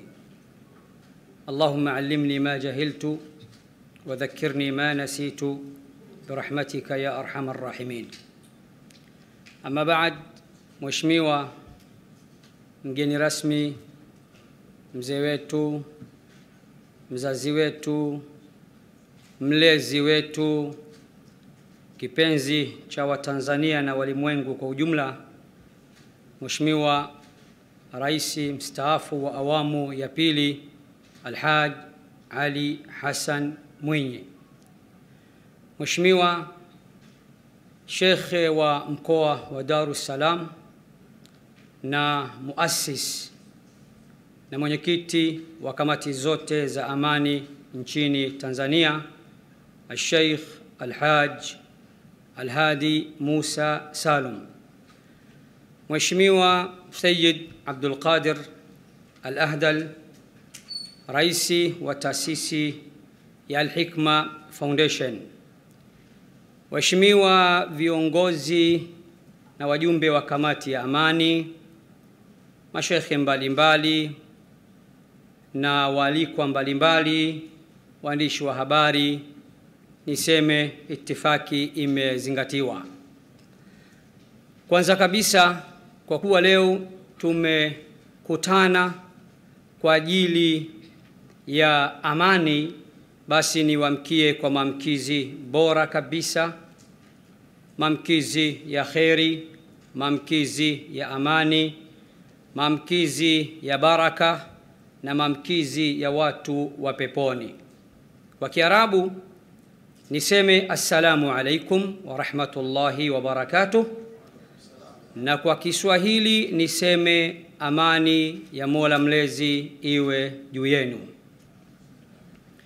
Mheshimiwa mgeni rasmi, kwangu leo ni furaha isiyokuwa na kifani, na kwa mara nyingine kwangu mimi leo historia imejiandika tena kwa mara nyingine, na siku hii ya leo siwezi kuisahau katika maisha yangu,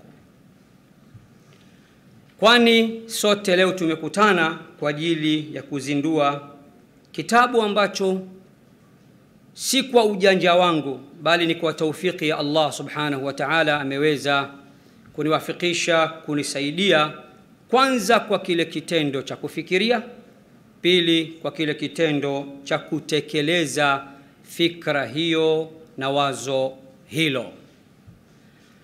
Mheshimiwa mgeni rasmi, kwa kuwa kitabu kipo mbele ya macho yenu na kila mmoja aliyehudhuria atapata kopi yake.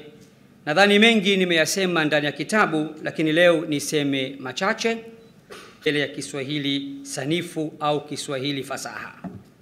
Leo Kiswahili tulichozoea kutumia mitaani, maneno mengi, ibara nyingi, si Kiswahili sanifu. Mswahili wa leo akiwa saluni, ukimuuliza uko wapi, anakuambia nipo saluni na nyoa, wakati kiukweli yeye ananyolewa, hanyoi. Haya ndo maneno yetu Waswahili wa mitaani, lakini mwisho wa siku ndo mambo yanaenda na tunaelewana. Au unaweza kumsikia mtu anakwambia fulani leo alitaka kufa. kiwalisia hakuna anayetaka kufa na anaipenda kufa. Pengine useme labda alihisi kufa au alipatwa na hali fulani ya kuonyesha kama vile kifo kinamsogelea. Kwa hivyo eh, nitumie fursa hii niseme ya kuwa kitabu hiki takriban ni mwaka mmoja kasoro imeweza kuchukua. Kwa nini? Kwanza, majukumu yangu ni mengi sana. Said Abdul Qadir amenikabidhi jukumu la taasisi ya Al-Hikma Foundation, zaidi ya walimu na watumishi mia tatu. Mimi ndio msimamizi wao chini ya skuli au shule kama nne, mratibu pia wa mashindano yale makubwa yanayofanyika uwanja wa Taifa. Lakini wakati huo kazi zangu za da'wa, kila Ijumaa natoa khutba ya Ijumaa na huwa nazunguka hapa na pale. Nikaona Waswahili wamesema kawia ufike, wacha kwanza tutoe kitu kilichokuwa kizuri. Lakini uhariri wa kitabu chenyewe pia kimechukua zaidi ya miezi minne, kwa sababu wataalam waandishi wanatuambia ya kuwa aliyeandika mara nyingi hawezi kuona kasoro kuliko yule aliye hariri Mfano, Shekhe wa mkoa wa Dar es Salaam na mwenyekiti wa kamati zote za amani nchini Tanzania tayari tukiwa humo humu ndani amekwisha hariri na kukosoa bango ambalo liko nyuma yangu baada ya mchapishaji kukosea, hafla ya uzi duzi badala ya uzin duzi. En hapa vijana wameghafilika na wameiacha. Ina maana aliyeandika hakuona kosa, lakini muhariri ameona kosa. Na mimi nikiri ya kuwa ndugu zangu, nikiri ya kuwa ndugu zangu, kitabu hiki hakikosi kasoro, bali kinaweza kikapata kasoro nyingi sana. Kitabu pekee ambacho hakina kasoro ni kitabu cha Mwenyezi Mungu au vitabu vya Mwenyezi Mungu. Hasa yoyote atakayesoma kitabu hiki kwa lengo la kutaka kutafuta kasoro atachoka, ataandika mpaka atachoka. Lakini yule atakayesoma kitabu hiki kwa lengo la kutaka kufaidika aweze kufikia kiini cha mada yangu atafaidika vile vile. Nitumie fursa hii sasa niwashukuru walimu wangu, mwalimu mkuu msaidizi wa shule yetu ya primary, naye si mwingine ni mwalimu wa lugha ya Kiswahili aliyetaharaj au aliyetoka au aliye eh, graduate eh, tayari hapa tena tushatia kizungu wakati tunaongea Kiswahili, naye si mwingine ni mwalimu mwalimu eh, mwalimu eh, Salum Hussein Kiza. Naomba usimame wa kuone japo ulisimama. Licha ya mambo mengi aliyonayo, ni mkuu wa shule msaidizi, lakini alijitolea kwa nguvu zake zote kuhariri, kupanga na kupangilia kitabu hiki, kazi ambayo imewachukua yeye na wenzake zaidi ya hata miezi minne. Mwingine ambaye na haki zote ya kumshukuru ni mwalimu abdullah Haruna Kitupe. Ninaomba asimame, naye ni msomi wa lugha kutoka katika chuo kikuu pale Chukwani eh, Zanzibar. Bila ya kumsahau mwalimu Bashir Dule ambaye hasa ni mwanasheria wa Kiislamu aliyesoma katika chuo kikuu cha Raf mwenye digrii ya sheria. Nitakuwa mchache wa fadhila ikiwa nitamsahau ndugu yangu mchunga lugha mwandamizi kutoka Baraza la Kiswahili la Taifa BAKITA, naye si mwingine ni ndugu Musa Ramadhani Kaoneka. Ndugu yangu huyu kwa ihsani yake kubwa amekubali kuacha ya kwake na kupitia kitabu hiki. Yote haya, Mheshimiwa mgeni rasmi, nilitaka tu kitabu hiki kiweze kusomwa na watu wa matabaka yote. Kitabu hiki japo nimekiandika mimi Muislamu mlinganiaji, mhubiri, muhadhiri na dai wa dini yetu tukufu ya Uislamu, sikupenda isomwe na Waislamu tu, nimependa isomwe na watu wote, na nimejaribu sana kukiweka kijamii jamii zaidi. Kwa hivyo nikaona kuna haja pia kupata msaada wa ndugu zangu wa BAKITA na hatimaye ndugu yangu Musa Ramadhani Kauneka, yeye amekuwa ndio muhariri na mpiti, mpitiaji wa mwisho katika kuhariri. Na ni kweli nimekutana na changamoto. Kwa mfano, sisi mashekhe mara nyingi tunapozungumza tunapenda misamiati ya Kiswahili kuzitamka kwa Kiarabu. Utasikia hofu kwa hechi, sisi tunaita hofu, lakini kumbe bakito unasema hapana, hii k ya Kiarabu iweke pembeni, sie ni hofu kwa hechi. Kwa hiyo nashukuru kwa uhariri huo na kwa upitiaji huo kwa ndugu zangu ambao nimetangulia kuwataja. Mheshimiwa mgeni rasmi, nitakuwa mchache wa fadhila ikiwa nitamsahau shekhe wetu mlezi wetu na mwalimu wetu Sheikh Abdul Qadir Al Ahdal ambaye kiuhalisia yeye ni mwalimu wangu, alinisomesha, ananisomesha na ninaendelea kusoma chini yake mpaka leo, jambo ambalo sijalisahau na siwezi kusahau. Qur'ani tukufu alinihifadhisha yeye pamoja na ahkamu zake, lakini kubwa ambalo leo nikikaa na mimi najihisi ni muumini mzuri ni pale aliponisomesha vitabu mbalimbali vya tauhidi na aqida kama vile al-aqida sahiha, usuluddin, al-usul al-thalatha, kitabu cha Fathul Majid, kitabu cha al-aqida at-tahawiyya al-Imam Abu Ja'far at-Tahawi, kitabu cha al-aqida al-wasitiyya cha Sheikh al-Islam Ibn Taymiyyah na vitabu mbalimbali mbali vya tauhidi, jambo ambalo leo linanisaidia mimi kujitambua na kutambua kwamba mimi ni kiumbe na tunaye Mola wetu ambaye anastahiki sifa zote na ibada zote. Said Abdul Qadir pia ana mchango mkubwa sana katika hafla hii ya leo. Mwenyezi Mungu amlipe kila la kheri. Mwisho, nikimsahau mtu huyu wa mwisho bila kumshukuru, hata dhambi ninaweza nikapata. Si mwingine ni mzee wangu mlezi wangu rais mstaafu wa awamu ya pili Alhaji Ali Hassan Mwinyi, licha ya kwamba taifa linamhitaji hasa katika kipindi kama hiki kigumu, amekubali kuchukua kitabu hiki akakipitia siku hadi siku, mstari hadi mstari, herufi baada ya herufi, na kuweka dibaji ya utabaruku.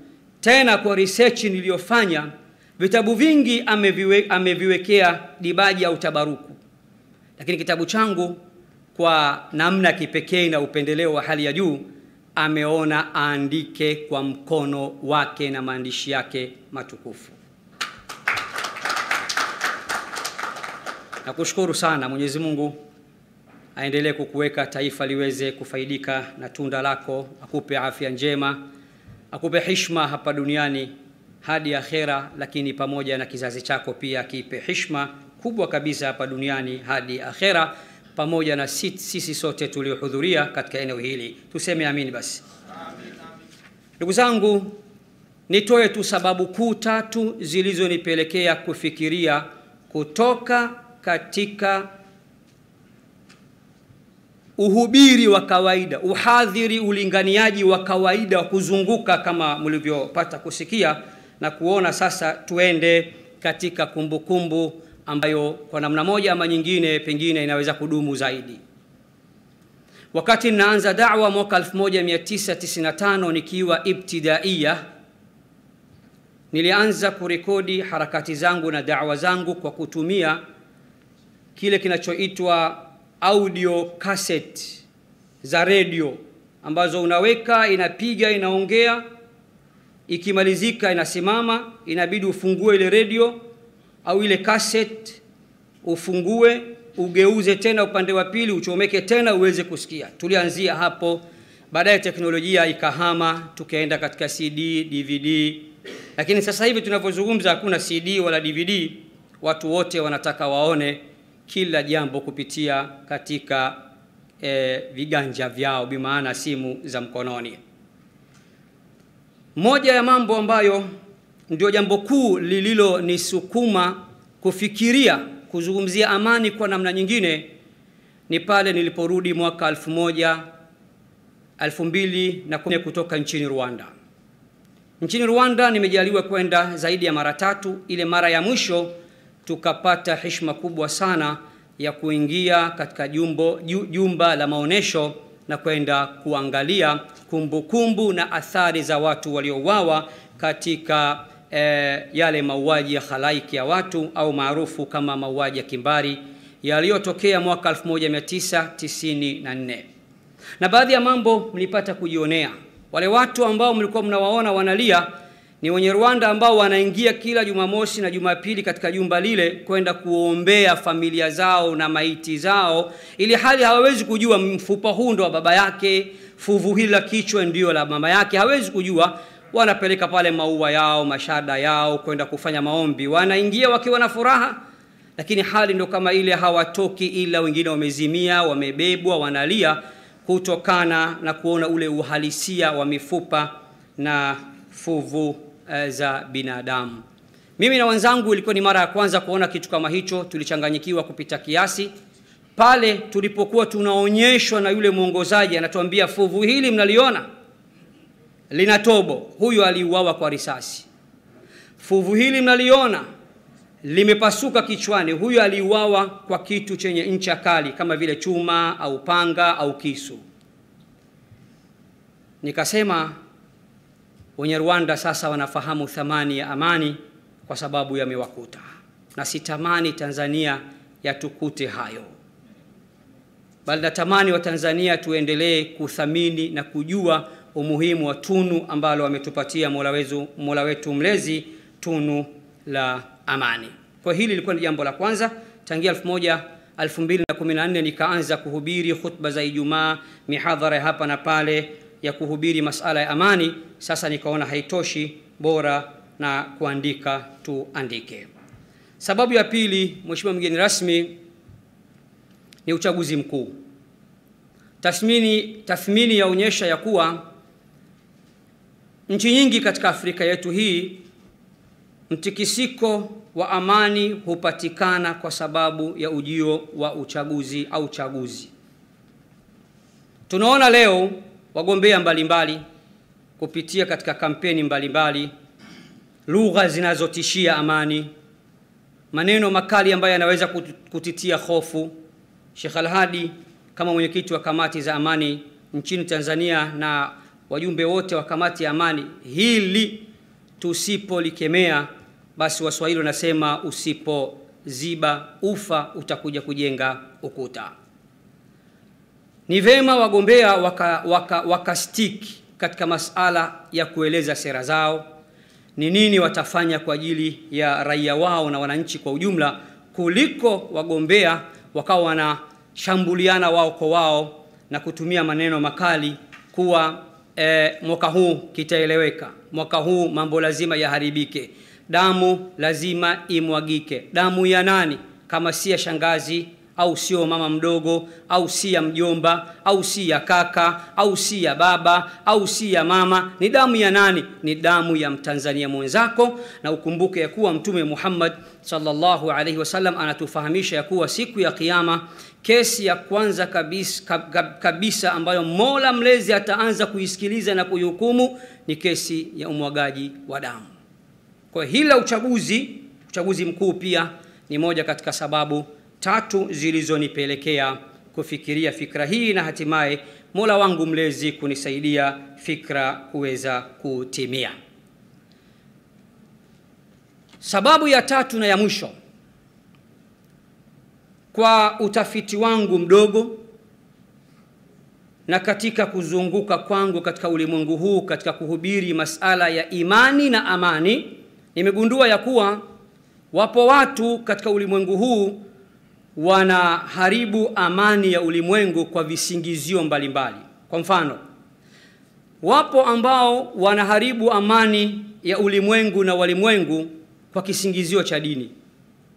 Nikaona niandike, niitetee dini yangu tukufu ya Uislamu kwamba hakuna dini iliyohimiza na kufundisha masala ya amani kama Uislamu na kama wapo ambao wanatumia vibaya aya za Qur'ani, hadithi na mafundisho ya Bwana Mtume Muhammad sallallahu alaihi wasallam, hao wao ndio hawajaelewa, bali msimamo sahihi na mafundisho sahihi ya dini ni kama ambavyo nilivyojitahidi kuelezea kwa uchache katika kitabu.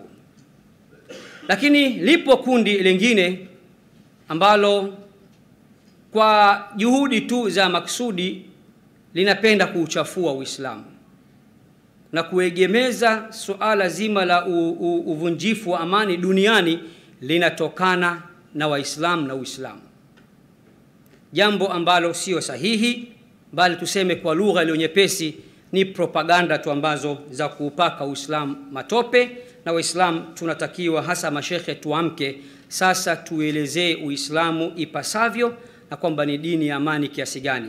Sheikh Sharif Abdul Qadir alitunga kitabu amekiita Uislamu sio dini ya ugaidi. Humo ndani ametuthibitishia ya kuwa neno la mapigano ndani ya Qur'ani limekuja mara 40 tu, ambapo neno la amani ndani ya Qur'ani limekuja zaidi ya mara mia tatu na sitini na kitu. Kwa hiyo haya kwa uchache ndiyo yaliyonisukuma kuweza kutimiza wazo langu hili. Niseme matatu ya mwisho. La kwanza, kwa nini jina la kitabu limebeba alama ya kuuliza? Kwa nini amani? Majina ambayo nimeyapata yalikuwa kama manne, lakini jina hili ambalo limekuja na alama ya kuuliza ndio tumelichagua na hatimaye Allah kutuwafikisha kulichagua jina hilo. Jina lenyewe la kitabu ni kuhimiza tosha amani katika nchi yetu na bara letu la Afrika. Kwa nini amani? Kwa sababu Mola aliyetuumba ametutaka tuishi kwa amani. Anasema wal arda wadaaha lil anam, ardhi hii ameiweka kwa ajili ya viumbe wote. Mtume wetu Muhammad sallallahu alaihi wasallam anatuambia atakayepewa mambo matatu huyo kapewa dunia yote. Man asbaha minkum aminan fi sirbihi muafa fi jasadihi indahu qutu yaumihi faqad hizat lahu dunya bihadhafiriha, atakayeamka miongoni mwenu hali ya kuwa ana amani ya kutosha katika mazingira yake. Mosi. Pili, ana afya katika mwili wake. Tatu, ana chakula cha siku yake. Huyo ndiye aliyepewa dunia yote na dunia kuletwa chini ya miguu yake. Ina maana mafundisho ya dini yanatuambia ya kuwa amani ndio jambo la kwanza, na maisha bora ni mambo matatu. Jambo la kwanza amani, jambo la pili afya njema katika mwili, jambo la tatu kupata riziki ya siku ya tosha wewe kuwa zaidi ya mfalme katika ulimwengu wetu huu.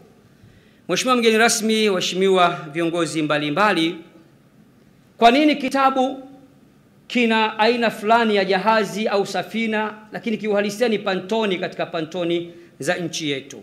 Hili pia, hili pia ningelipenda kuliweka wazi ili usipate tabu eh, au msipate tabu ndugu zangu. Jahazi hili mimi nimelifananisha kuwa ndio Tanzania, na Watanzania tumo ndani ya jahazi lile, na Tanzania tangia iumbwe mpaka leo wenzetu tumekuwa ombaomba sisi bwana. Mnaonaje kwa kuwa tuko juu ya maji, tutoboe kidogo jahazi letu hili, tutajipatia maji tena ya kutosha, hali ya kuwa pia hatuto waudhi wala kuwakera wenzetu walio juu. Mtume anasema mkiwaacha wakatoboa jahazi, mmeangamia wote, na mkiwazuia wasitoboe jahazi, mmepona wote. Hii maana yake Watanzania tupo ndani ya jahazi lile. Jahazi likitoboka linakula kwetu sote, hakuna atakayepona.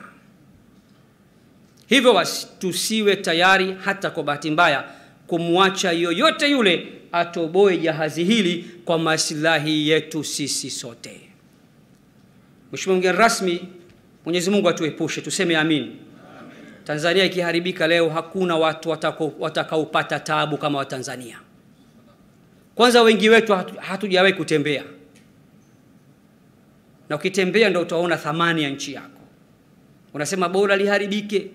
Haya, mambo yakiharibika, mkachochewa na baadhi ya wale ambao wana position fulani na nafasi fulani juu yenu, wakawachochea mkaharibu nchi, wao ni rahisi kukimbia, watakuacheni nyinyi katika nchi hii na tutakufa kama mende wa Tanzania, na Mwenyezi Mungu atuepushe.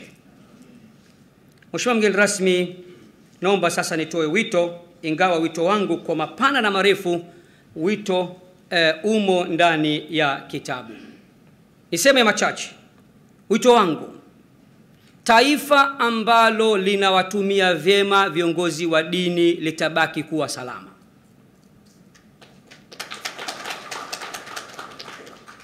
Taifa la Tanzania limebarikiwa na ili liendelee kubarikiwa, basi lazima taifa liwatumie viongozi wa dini, viongozi wa dini wapewe heshima zao, viongozi wa dini wathaminiwe, viongozi wa dini washirikishwe katika mambo muhimu katika taifa, kwa sababu mwisho wa siku mamlaka husika na jamii yote kwa ujumla tutarudi mwisho wa siku kuwa ni wafuasi wa viongozi hawa hawa wa dini.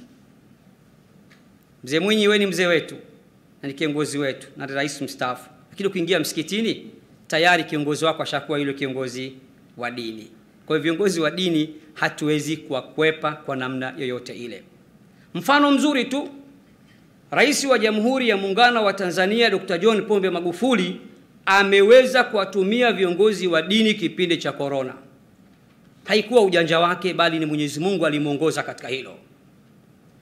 Hatukusikia serikali ikiwaambia watu wa kawaida tu kwamba tufanye maombi, viongozi wa dini maombi, na hatimaye nitumie lugha ya ujana, mimi ni kijana wa Temeke, kwamba virus ya corona tumeipiga tatu bila. Wakati wazungu na pesa zao na mali zao na silaha yao mpaka leo wanahangaika, sisi ni dua, maombi ni Mwenyezi Mungu kupitia nani?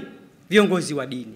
Kwa huu ni wito wangu wa kwanza, jamii, mamlaka husika, tuwaheshimu viongozi wa dini, tuwape nafasi yao na tuwasikilize pindi watakapotoa ushauri kwa maslahi ya taifa letu hili.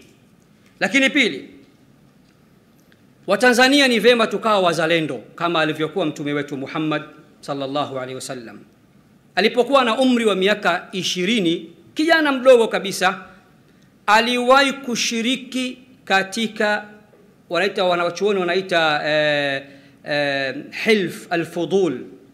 Aliwahi kushiriki katika zoezi mchanganyiko wa waislamu wasiokuwa waislamu waka- jambo likiwa ni la kijamii jambo likiwa ni la kizalendo jambo likiwa ni la kitaifa hakuna kubaguana tukae meza moja kwa maslahi ya taifa. Na ndio leo katika uzinduzi tunao maaskofu mbalimbali na kamati ya amani, mashekhe mbalimbali na viongozi mbalimbali. Mtume sala salam aliwahi kushiriki katika e, zoezi hilo na akasema, na leo tena nikiitwa, baada ya kuwa mtume, nikiitwa tena katika lile la kujenga taifa, katika lile hilfu alfudul, nitarudi tena, nitashiriki ili kuhakikisha mji wetu na taifa letu linabaki kuwa e, salama. Kwa hili ni jambo langu la pili. La tatu, Watanzania tusisahau kuliombea taifa hili, tusibweteke tukaona kwamba taifa liko imara hapa tulipofika bana. Hapana, watu tunapofanya maskhara tukadharau, ndio unaweza ukashangaa mambo yanaweza kuharibika. Muda wote tuwe na wasiwasi, kwa sababu Waswahili wanasema wasiwasi ndio akili. Katika wasiwasi ambao ndio akili, tuombe sana dua, Mwenyezi Mungu aipitishe jahazi la Tanzania tarehe 28 mwezi huu salama salmini. Binafsi ninaamini, na kama ninakosea, mzee wangu utanikosoa na viongozi wote mtanikosoa. Mimi ninaamini Tanzania ni muhimu zaidi kuliko hata uchaguzi. Mimi ninaamini Tanzania ni muhimu zaidi kuliko hata chama. Mimi ninaamini Tanzania ni muhimu zaidi kuliko hata wagombea, bali mimi ninasema heri nianguke mimi shekishki anguke mgombea fulani, kianguke chama fulani, lakini Jamhuri ya Muungano wa Tanzania isi- isianguke. Na niunga mkono katika hilo. Niko sahihi?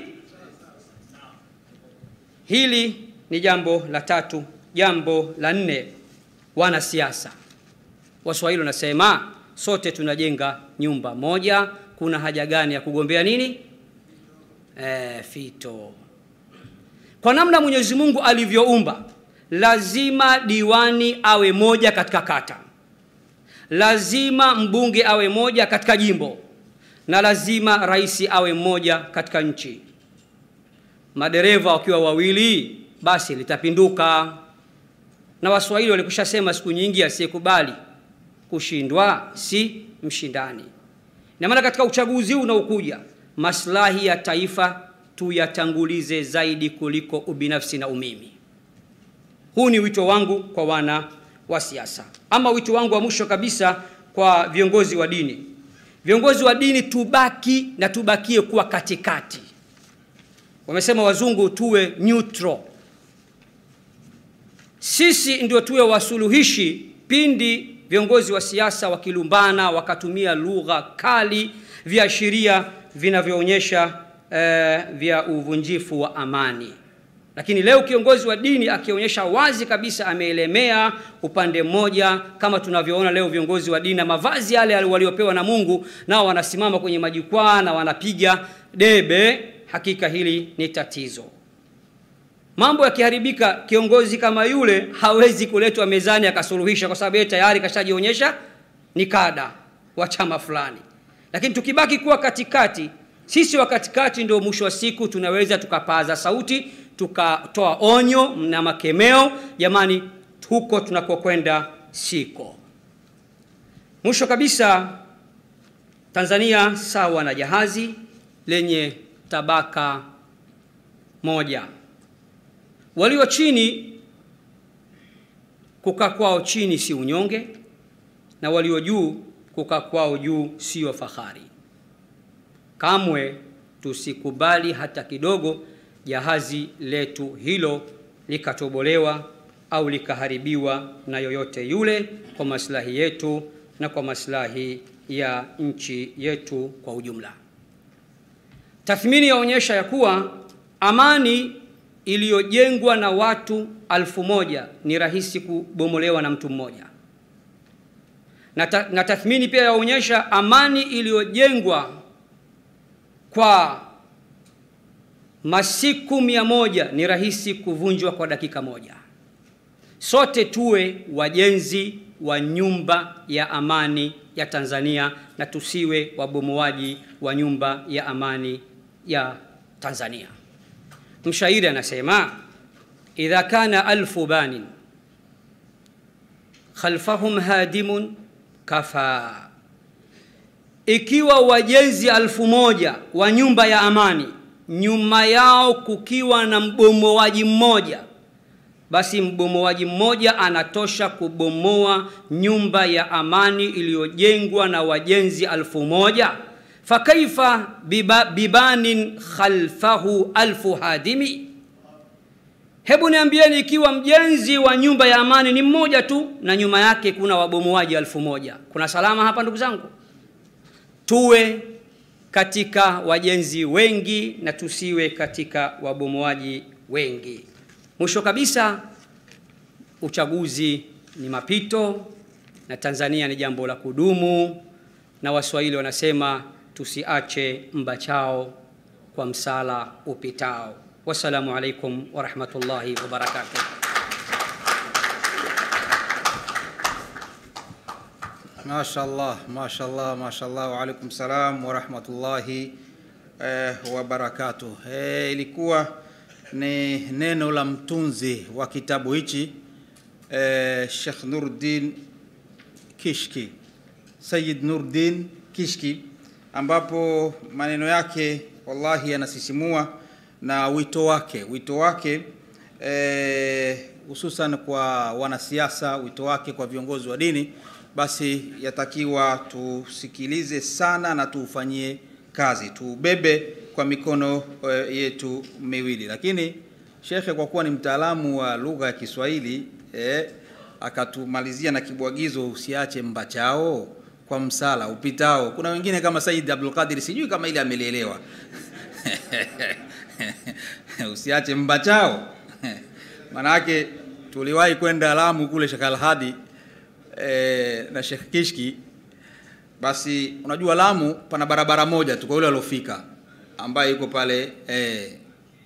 Sasa kule kawaida Lamu hakuna gari, kuna gari moja tu ya mkuu wa wilaya na gari yenyewe ni Suzuki, lakini watu wa Lamu huwa wanapanda sana mpunda.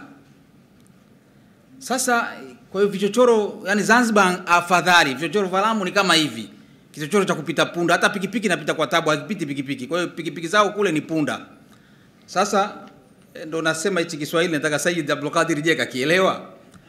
Sasa wakati tuna, tuna tumeenda na Sheikh Kishki kwenda kufanya da'wa, wallahi tumepanda punda. Kuna sehemu unaenda unapanda punda. Sasa tumepanda punda, wakati kabla tujapanda kwanza tunakatiza katika vichochoro, tukasikia kelele iko inatoka. Ambacha ukucha punda uyao. Umeelewa hapo? Ambacha ukucha punda uyao. Yaani manake kukumbatia ukuta punda anakuja asije akakugonga. Ambacha ukucha punda uyao. Sasa ndo hichi amenikumbusha ndugu yangu, eh, usiache mbatao kwa msala upitao. Eh, yani uchaguzi ni mapito. Sasa tutaiacha Tanzania iangamie kwa sababu ya uchaguzi bwana? Si bora tuseme basi hatufanye uchaguzi tuendelee kukaa tu milele. Takbir. Mheshimiwa mgeni rasmi, e, baada ya hivyo pamoja eh, na haya yote leo tulikuwa tuwe na mufti wa Tanzania Sheikh Abubakar eh, bin bin Ali, lakini amedharurika eh, kwa maana ya kwamba leo ana ufunguzi wa msikiti wake kule eh, Korogwe kule kwao, na hata Sheikh Alhadi Musa unamwona jana alikuwa kule, lakini alhamdulillah amewahi kuja katika hili baada ya, ya, ya kuona naye ni mwenyekiti wa kamati ya amani na hili jambo la amani, akasema siwezi kumwacha Said Nuruddin peke yake pamoja na Masawe, lazima tuwaunge mkono katika hili. Kwa hiyo e, mufti ametadhir katika hili, lakini pamoja na hilo e, sasa kulikuwa kuna nafasi ya mwakilishi wake, naona naye hakufika. Kwa hiyo sasa hivi e, tutamleta au tutamleta mwenyeki, makamu mwenyekiti wa kamati ya amani, lakini kabla ya kumleta huyu makamu mwenyekiti wa kamati ya amani E, katika wakati nataja viongozi wa dini, Mheshimiwa mgeni rasmi, nilisahau kutaja baadhi ya viongozi wa taasisi tena kubwa kabisa akiwemo e, ndugu yetu Al-Akhi Hassan e, Akrabi ambayo ni mwenyekiti wa e, taasisi wa DYCCCC tunaye hapa ukumbini, lakini pamoja naye akiwemo ndugu yetu e, Amin Hassan ambaye ni katibu wa zaka katika e, kama, e, katika taasisi hiyo, lakini pia tunaye mwenyekiti wa taasisi ya The Islamic Foundation, taasisi ambayo inamiliki vyombo vya habari kama vile Imani Media, yani Imani Media, vyombo vya habari kama vile Imani TV, TV Iman, eh, gazeti Imani pamoja eh, na radio Imani. Ndugu yetu Al-Akh Arif Nahdi naye tunaye hapa, lakini vile vile tunaye mkurugenzi wa Muslim World League e, ndugu yetu Hassan Katungunya lakini vile vile tunao mashekhe ambao wanatoka katika taasisi ya Al-Furqan, Shekhe e, Nasir Amru Nasir pamoja na Shekhe e, Hamid Abdallah ambao nao wanawakilisha taasisi zao. Lakini sasa kuna mtu mmoja, mheshimiwa mwenyekiti, akanambia Masawe, mimi nayo tuko kwenye kamati ya amani, mbona umeni umenisahau au umeniacha makusudi? Nikamwambia mimi nimekuacha makusudi ili nikutaje peke yako. Eh, kuna tanazzalul malaikatu waruhu fiha Eh, malaika wote wanakuja lakini Mungu akamtaja Jibril peke yake. Kwa hiyo kuna ukhaswa wa kwake yeye. Huyu si mwingine mheshimiwa eh, mgeni rasmi na wageni walikwa, rafiki yangu sana, na huwa anamwambiaga Sheikh Alhadi, naomba unipe protocol, niwe chief of protocol wa kamati ya amani. Huyu si mwingine ni mchungaji Dr. Peter Rashid Abubakar. Naogopa kuendelea mbele ya majina yako, maana watu wataanza kuuliza umepataje pataje uchungaji kama silsila yako maana unaweza ukaenda ukaenda ukasikia Ibn Hamham huko mbele, Ibn Al-Hahdali. Sasa naogopa huko mbele sie ka- ikaenda hivyo bwana Dr. Peter Rashid, ikawa wewe umefika kwenye Masawe, afadhali angala uje kwenye Masawe kwenye show. Dr. Peter eh, Rashid, naomba usimame basi wakuone. Huyu ni machachari sana, ni, ni, ni bishop mchungaji. Karibu sana bwana, naye tuko naye huyo. Kwa hiyo unaona upekee wako e, umekufanya umekuwa pekee. E, Mheshimiwa mgeni rasmi, hivi sasa shule yetu inaelekea ukingoni ukingoni, basi naomba nimkaribishe ni, ni, ni makamu mwenyekiti wa kamati ya amani eh, Dr. George Fupe ili aweze kutoa eh, neno lake angalau kwa dakika mbili. Na hii utaona kweli tunapozungumza amani, hatuzungumzi kama Waislamu tu, tunazungumza amani ya Tanzania. Yes. Ndani ya Tanzania kuna watu mbalimbali mbali. Karibu. Asante sana. Assalamu alaikum. Amani iwe kwenu. Mheshimiwa mgeni rasmi, mzee wetu Ali Hassan Mwinyi, rais wa awamu ya pili, rais mkubwa, kuwa mbele yenu katika kusanyiko hili. Kwanza kumshukuru Mungu kwa kusanyiko hili, uh, lakini pili kwa heshima ya kualikwa kushiriki katika kusanyiko hili. Tunamshukuru Mungu sana sana katika amani hii ambayo tunayo katika nchi yetu ya Tanzania, na nichukue nafasi kukupongeza mwandishi e, nimesimama kukupongeza mwandishi kwa kazi nzuri ambayo umeifanya na eh, hiyo topiki ambayo ume ah, sasa nachanganya lugha uh, kichwa cha kitabu chenyewe ni kizuri sana. Kwa nini amani? Ni swali zuri sana, na wewe umelijibu kwamba linahusiana na Mungu mwenyewe, na sisi hata katika vitabu vyetu vya uh, Biblia tunajua Mungu katika eh, eh, Biblia anasema nawawazia mawazo ya amani,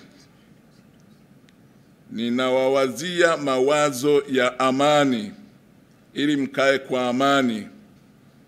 Na anasema tena kwamba ili amani iwepo, italeta usalama, italeta utulivu, italeta maelewano, mahusiano mema. Tunapozungumza amani, maanake tunazungumza juu ya mahusiano mema, na hili ni jambo la muhimu ambalo umelifanya.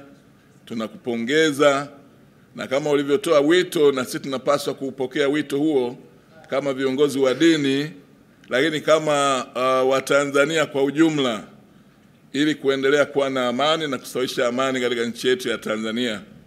Lakini mimi nikuongezea kitu kimoja au niongeze jambo moja katika hiyo amani. Katika Biblia tunasoma mstari mmoja kutoka Isaya thelathini na mbili mstari wa kumi na saba anasema haki, kazi ya haki ni amani, kazi ya haki ni amani, na mazao ya haki ni utulivu na matumaini. Kwa hiyo, kwa nini amani? Maana yake linatukumbusha tutende haki ili amani iwepo. Yale ambayo mmetuonyesha yametuumiza hata sisi hapa. Eh, hiyo safari mliyofanya huko Rwanda na mambo ambayo yametokea yanatokana na watu kuto kutenda haki. Dhuluma inaleta maumivu na inaleta magombano na mafarakano. Amani ikiwepo, watu wanakaa salama. Kwa hiyo jambo hili ni la muhimu. Kwa nini haki? Maana yake inatukumbusha tutende haki. Kwa nini amani? Mungu anakusudia kwamba tuishi kwa amani, lakini katika kuishi kwa amani anahitaji tutende haki. Katika Biblia kuna maeneo mengi sana yanayotaja habari ya haki na amani, vinakwenda pamoja. Haki na amani ni watoto pacha, tena tunawaita wale watoto pacha sawia, identical twins. Kama hakuna haki, hakuna amani. Kama hakuna amani, maana yake hakuna haki.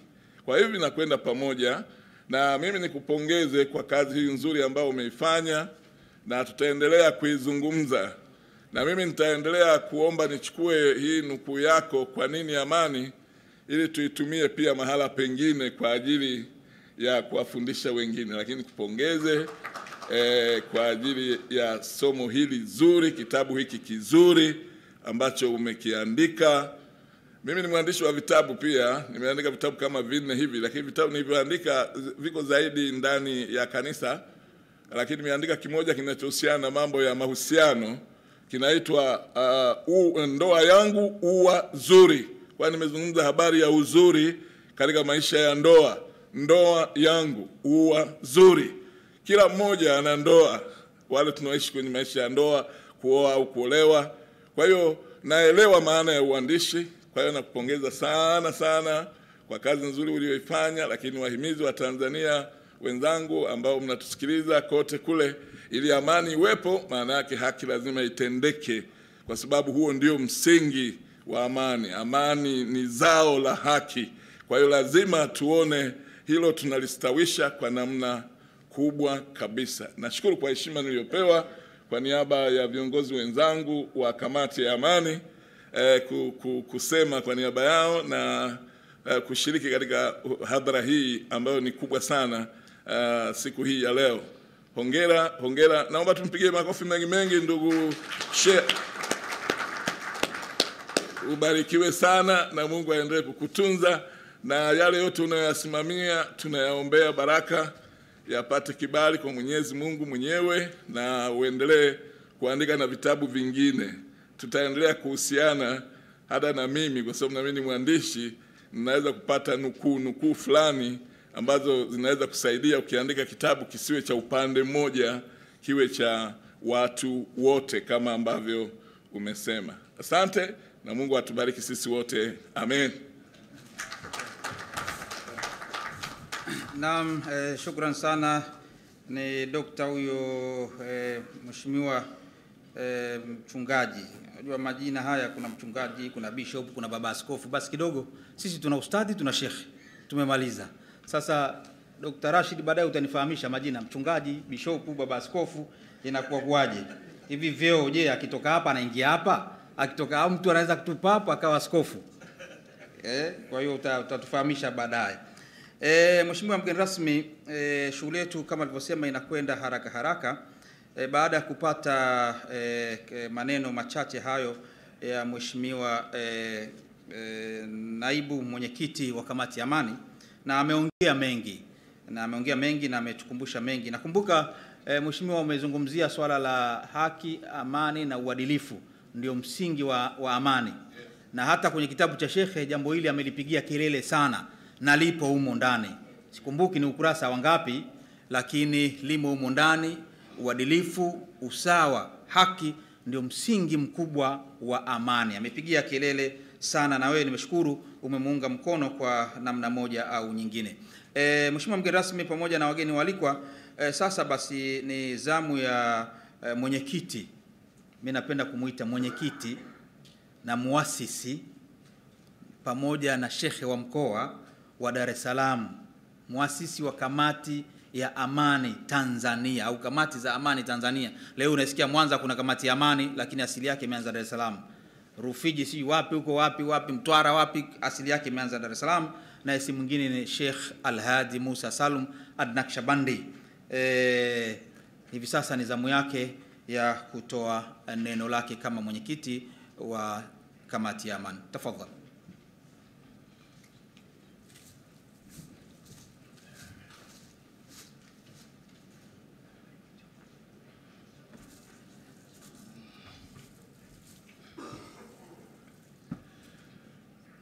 بسم الله الرحمن الرحيم.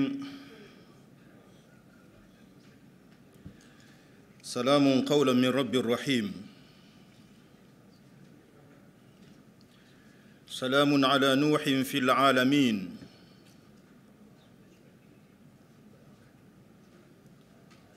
سلام على إبراهيم. كذلك نجزي المحسنين. سلام على موسى وهارون. إنا كذلك نجزي المحسنين. سلام على إلياسين. إنا كذلك نجزي المحسنين. سلام بما صبرتم فنعم عقبى الدار. والسلام علي يوم ولدت ويوم أموت ويوم أبعث حيا. سلام هي حتى مطلع الفجر. وسلام على المرسلين والحمد لله رب العالمين. Mheshimiwa Rais mstaafu wa Jamhuri Tanzania baba yetu Alhaji Ali Hassan Mwinyi muasisi wa kamati za amani Tanzania na mlezi wa kamati Asayid Abdul Qadir Al-Ahdali rais الحكمة الخيرية السيد نور Nuruddin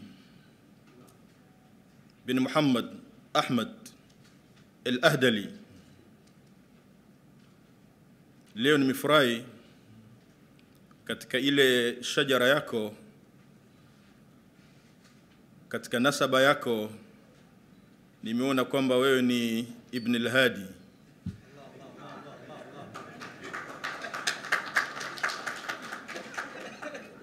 umekuwa ni mwanangu sasa.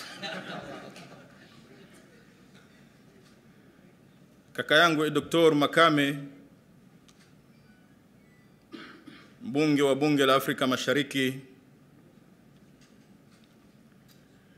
namuona shekhe wangu pale Shekh Talib Ahmad, mjumbe wa baraza, mjumbe wa kamati ya amani, pia mashaikh mbalimbali mliopo hapa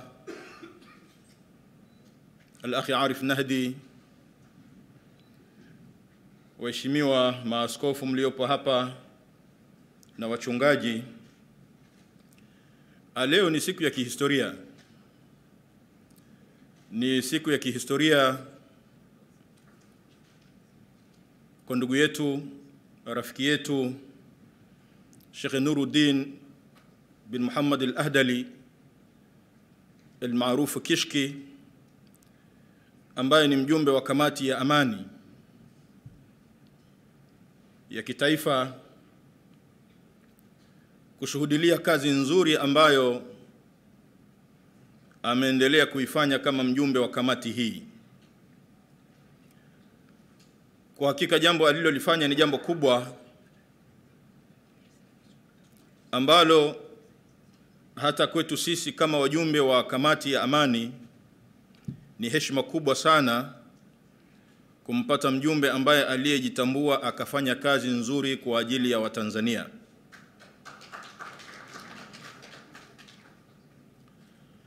Sheikh Nuruddin Al-Ahdali Kishki الداعية الكبير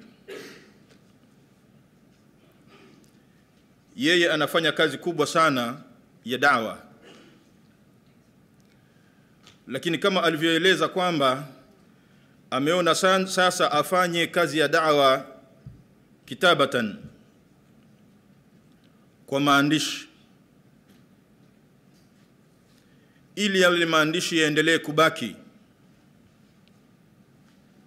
Kama tunavyojua siku zote kwamba maandishi ndiyo ambayo yanaendelea kubaki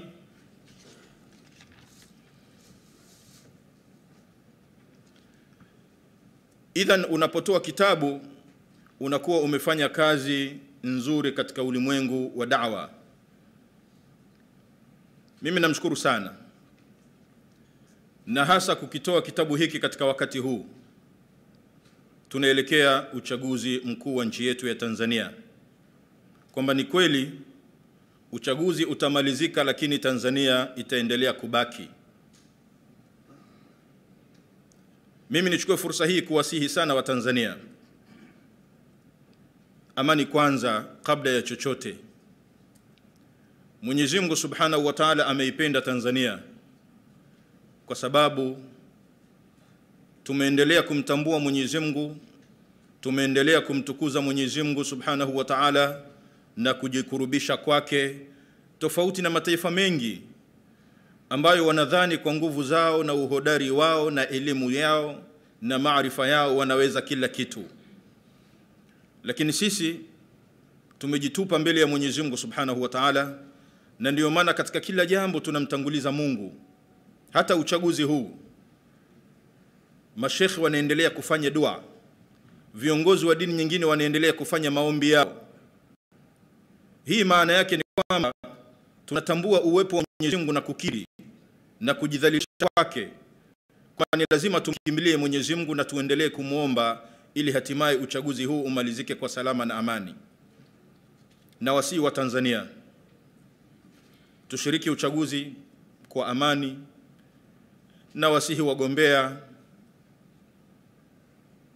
wasije kuwasababishia Watanzania majeraha au kumwaga damu zao kupanda juu ya vichwa vyao ili wafikie kule wanakokutaka. Damu ya Mtanzania, heshima ya Mtanzania, mwili wa Mtanzania uheshimiwe. Usije ukawafanya Watanzania ni kuni za wewe kukufikisha unakotaka kwa lazima. Hapana, tutii sheria, tufate taratibu tulizojiwekea sisi wenyewe. Iko tume ya uchaguzi, yuko msajili wa vyama, iko serikali. Tufate maelekezo ambayo tuliyopewa, na haya ndiyo ambayo sisi kama viongozi wa dini tunayasema. Kwa hiyo namshukuru Ilahi Aziz Sheikh Kishki kwa kutoa hichi kitabu kwa wakati huu. Amefanya jambo muwafaka kabisa. Kwa nini amani? Na ameeleza hizo sababu, na mimi sijakiona hicho kitabu, nakitamani sana. Nimeambiwa kwamba tutapewa sote hapa, nataka tukione na tukitumie, na sisi niseme kama mwenyekiti wa kamati za amani Sheikh Nuruddin Kishki, sisi tutapanga jambo la kukufanyia ili kukupongeza, kwa sababu umefanya kwa ajili ya Watanzania. Wewe ni dai kama Uislamu unavyoelekeza namna ya kuishi na watu wote kwa salama na amani. Tutakupongeza na hili jahazi ambalo tunalosafiria, kama ulivyosema ile hadithi ya watu ambao waliokuwa wakisafiri, inna qauman rakibu safina, kwamba watu walikuwa wakisafiri, wamepanda jahazi moja, wako baharini, akhadha kullu wahidi minhum minhum mawdhi'ahu, kila mmoja ikawa amekaa sehemu yake. E, aliyekaa tezi, aliyekaa qidam, aliyekaa ngamani, aliyekaa wapi, wanasafiri baharini lakini mmoja ile sehemu yake ikawa anagonga kwa shuka kwa shoka, anagonga ile sehemu aliyokaa. Wanakwenda wanamuuliza, ya akhi alkarim, madha tasnau huna, unafanya nini hapa? Mbona unagonga hilo jahazi? Wako baharini. Anasema hadha makani asnau fihi ma shi't, hapa ni kwangu mimi, ninafanya ninavyotaka. Wewe umekaa kule na mimi nimekaa huku. Wakamwacha anaendelea kugonga lile jahazi wa hum fil bahr. Kilichotokea Mtume anasema fahalaka wa halaku, aliangamia yeye na wakaangamia wote, kwa maana ya kwamba akitokea mtu anaashiria kuvunja amani ya nchi, kuvuruga amani ya Watanzania, huyo mtu hatakiwi aachwe.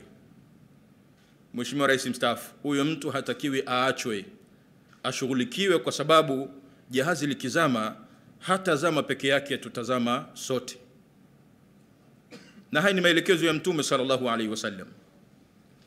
Ikhwani alajilla, mimi nifupishe salamu zangu, lakini pia nitoe salamu za Mheshimiwa Mufti.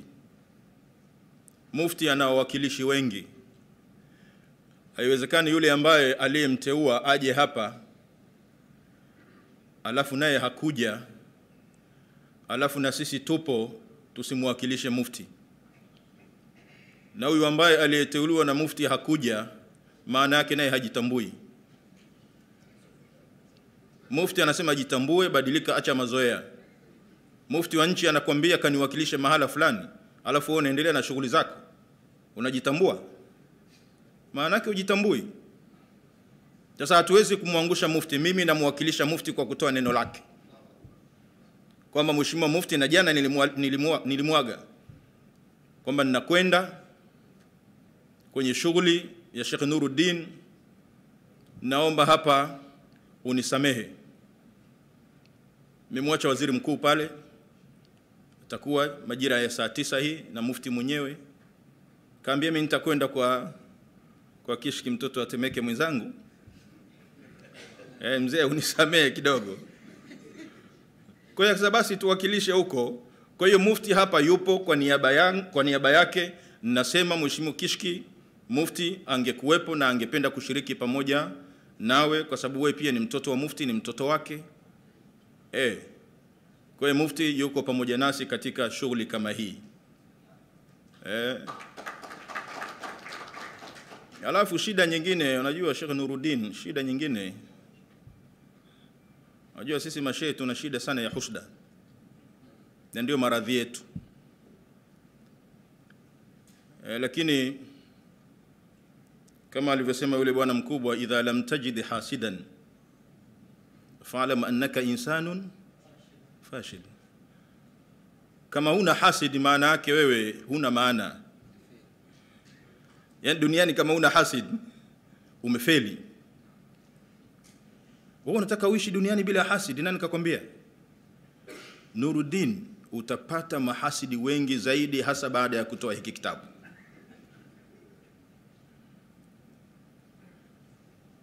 na haya ndio maradhi ya mashekhe.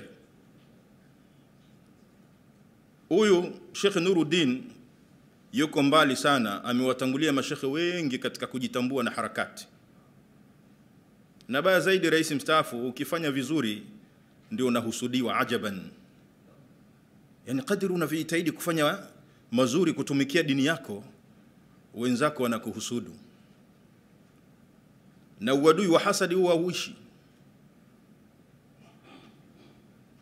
Kama alivyosema bwana mkubwa mmoja, kullu ladawa qad turja izalatuha illa adawata man adaka an hasadin, kila uadui unatarajiwa iko siku utaisha, ila uadui wa hasadi hauishi kishki. Uadui wa hasadi hauishi, utaendelea. Kwa hiyo endelea kuchapa kazi, watakao kusema acha wakuseme, lakini ndio wanakutengenezea pepo yako. Fanya kazi kwa ajili ya Allah na Mtume Muhammad sallallahu alaihi wasallam. Mheshimiwa Rais mstaafu, nisichukue muda mrefu wa kusema kwa sababu una nafasi yako, nawe sasa unatakiwa urudi Zanzibar. Eh, urudi Zanzibar, tunajua una kazi maalum eh, kazi maalum ambayo sisi tunakupa bishara wa bashiri lmuminin. Endelea na hiyo kazi ambayo iko vizuri na wala sisi hatuna shaka nayo kapambane mzee Zanzibar, tuko pamoja. Wassalamu alaikum warahmatullahi wabarakatuh. Waalaikum salam warahmatullahi wabarakatuh. Naam, e, Mheshimiwa mgeni rasmi pamoja na wageni waalikwa ni Shekhe Alhadi Musa Salum, shekhe wa mkoa wa Dar es Salaam, lakini ni mwenyekiti wa kamati za amani Tanzania. E, Nakshabandi huyu mtoto e, wa Temeke naye. Sasa muda umetupa mkono sana e, muda umetupa mkono sana sana sana. Tulipenda Sheikh Alhaji angeongea ange, ange muda mrefu, tungepata mengi sana. Hivi sasa basi tumnyanyue Said Abdul Qadir Muhammad Ahmad Al-Ahdal ili naye aje kutoa salamu tu kwa kitambo cha dakika mbili aweze kumkaribisha mgeni wetu rasmi, kwani usafiri uko tayari unamsubiri mgeni rasmi. Kwa hiyo dakika mbili tu, samahani shekhe wangu Sharifu Said Abdul Qadir eh, kwa ajili ya salamu na kumkaribisha mzee Mwinyi. Bismillah rahman rahim, alhamdulillah wassalatu wassalamu ala ashraf al-anbiya wal mursalin sayyidina Muhammadin wa ala alihi wa sahbihi ajma'in, amma ba'd. Assalamu alaykum wa rahmatullahi wa barakatuh. Kabla zikaribisha mzee wangu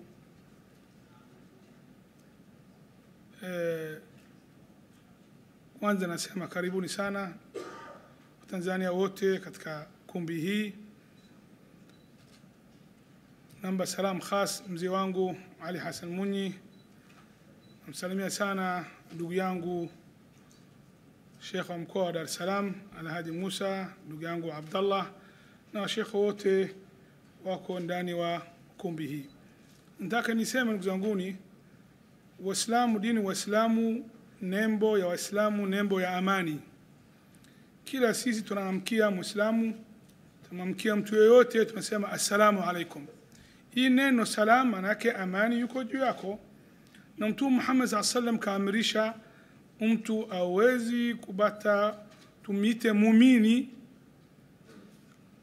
awezi kuingia peponi mpaka akuwe mumin na mtume anasema afshu salama bainakum.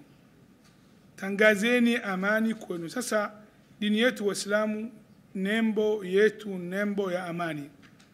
Sasa tuangalie vizuri sana tangaze. Hawezekani naona kitu ajabu mtu kila siku anamwambia watu amani juu yako. Mungu amjalie amani juu yako alafu yeye anafanya kinyume ya ile amani hii kitu ya ajabu. Na muda fupi sana namkaribisha mzee wangu alhaji ali hasan munyi falyatafadhal mashkuran maajura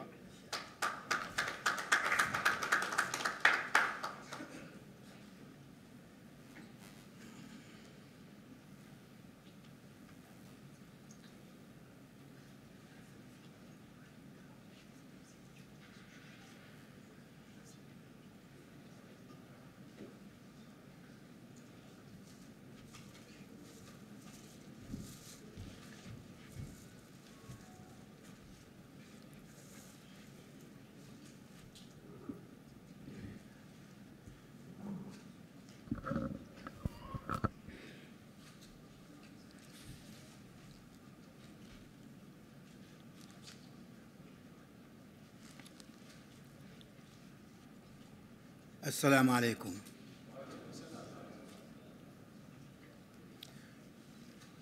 Rais wa taasisi ya Al-Hikma Sayyid Abdul Qadir Al-Adali, mwenyekiti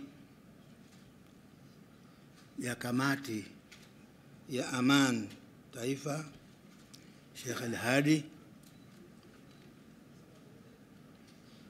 siendelee zaidi ku- kusevu kunusuru wakati.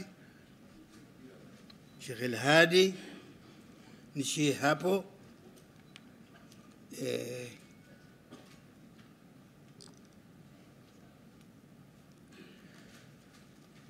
Sayyid Nurdin mtunzi wa kitabu hiki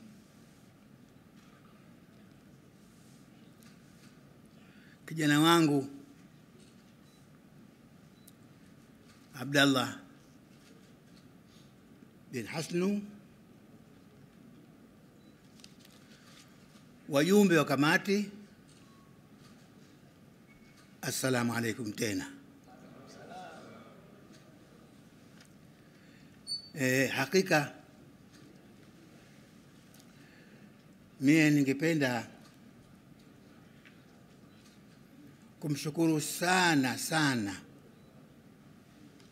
Sayyid Nuruddin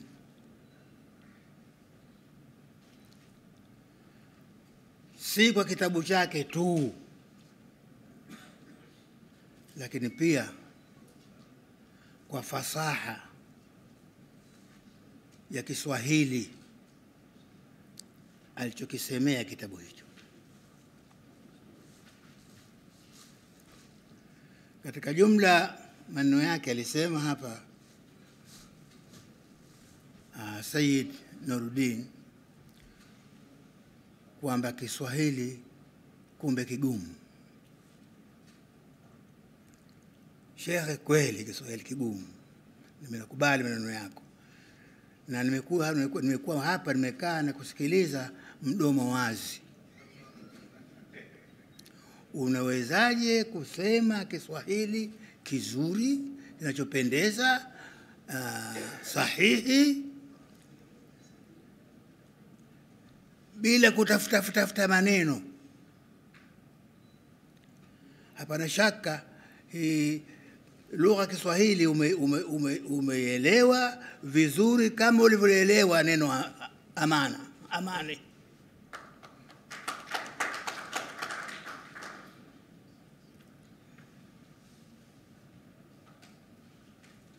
Nitoe mfano kidogo, maana mimi na mimi na Mswahili nizungumza na wakati mmoja nilikuwa mwenyekiti wa wa BAKITA.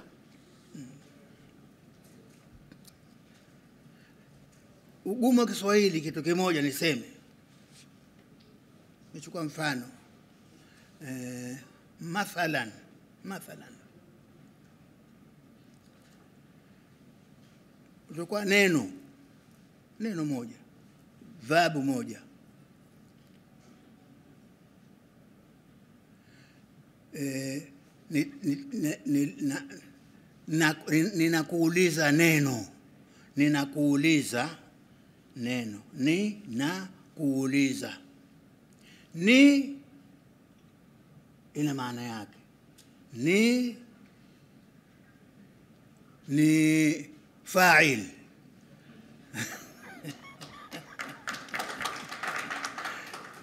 ni hii ni e, badala ya badala ya Ali na kuuliza. Nikisema ni inanitosheleza kwa nini? Ni ni mimi Ali, na sasa si jana, ni na tense, ni na kuuliza verb, ninakuuliza suala. Uweye mtu mmoja. Mkiwa wengi nina vile vile. Ni wewe, lakini. Ni nyinyi, kuulizeni. Kabla yake jana, ujuzi, nasema ni li, nilikuuliza. Kesho ni ta, nitakuuliza.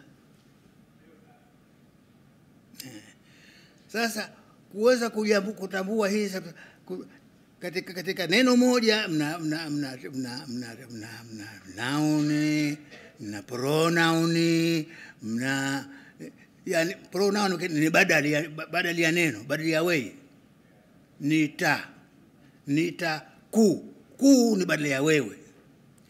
Mkiwa wengi nita nita, nita wauliza wa ni pronoun. Badala ya eh, hapa hapa inakuwa ni, ni, ni, ni, ni, object. Nitawauliza tawa uliza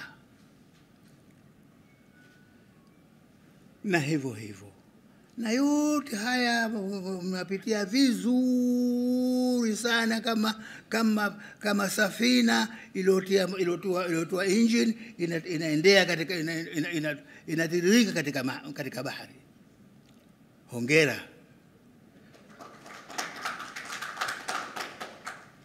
Na hii mada ulodino ni mada, mada ngumu lakini kuweza kuisema ikafahamika kama ilivyofahamika vile vile si jambo la khifi.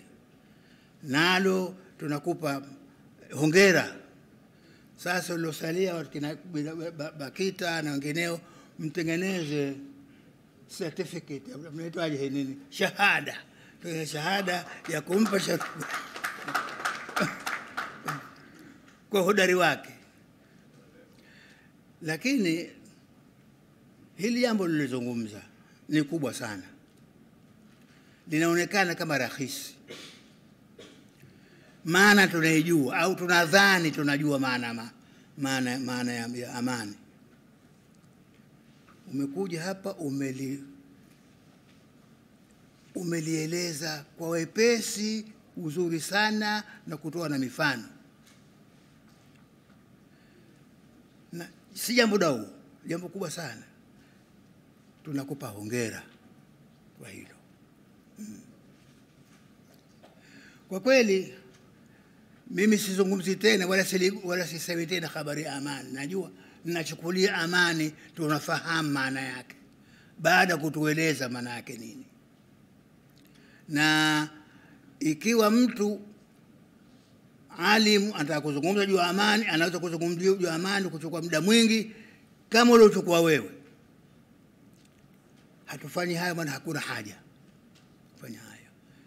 Ila mi napenda nikushukuru sana na nishukuru taasisi ya, ya, ya, ya Said hapa kunipa heshima ya kuya katika ukumbi huu e, kuzindua kitabu hichi cha amani. Amani. Tunahitaji tuna- tunakihitaji sana. Mifano uliyotupa ni mifano mizuri sana. Ndio hiyo mfano hiyo kwamba mtu katika jahazi, iko mtu huyo wanavuka, yeye anaitoboa jahazi eh. na haitoboi jahazi kwa, kwa, kwa, kwa jambo jinginelo, kwa aitie hila ikataliwe na mfalme mathalan lakini anaitoboa apate maji, kumbe hakipata hatapata maji, apata kifo, si chake yeye peke yake, yeye na wenziwe. Tunashukuru sana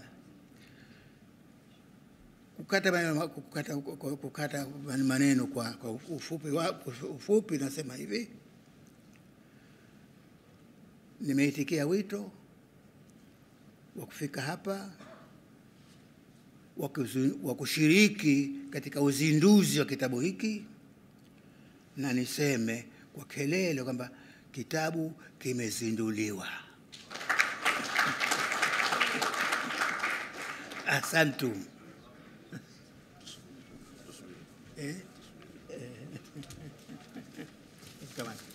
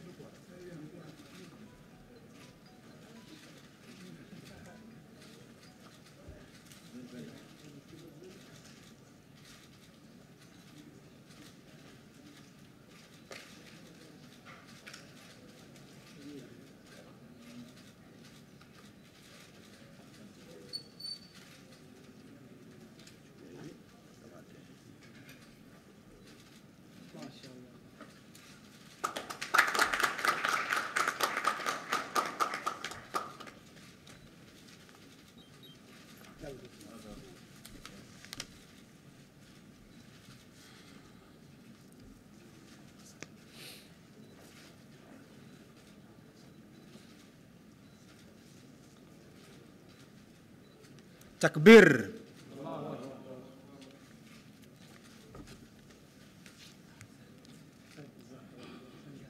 Naam, eh, kama mlivyoshuhudia baada ya eh, nasaha za mgeni rasmi Mashallah. Eh, baada ya kushuhudia hizo na uzinduzi wa kitabu, basi tungeomba tupate picha angalau mbili tatu, kwa sababu mzee wetu ana, ana, ana, ana majukumu mengine. Picha mbili tatu, naomba kwa haraka haraka. Picha ya kwanza ni picha ya meza kuu, nadhani meza kuu eh, waliokaa kina Sheikh eh, Alhadi eh, basi unaweza kupata picha hapo na, eh, naomba viti vile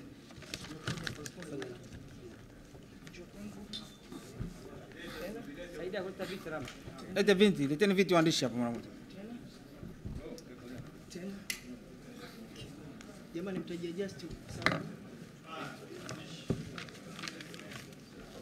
Naomba viti, namba viti hapo kama vitano hivi. Viti vya ile meza jamani tunaomba.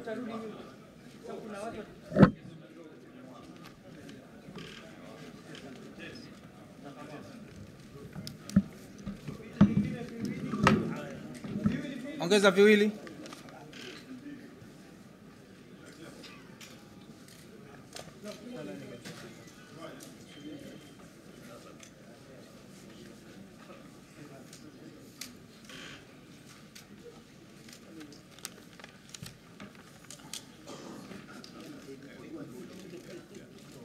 Eh, tunaomba tuzingatie utaratibu ufuatao.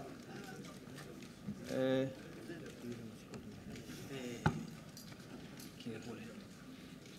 Eh, baba mchungaji Askofu Fupe, naomba ukae hapo.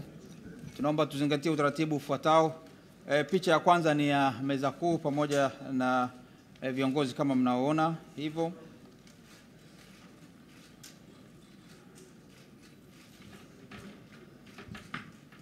Nadhani tayari.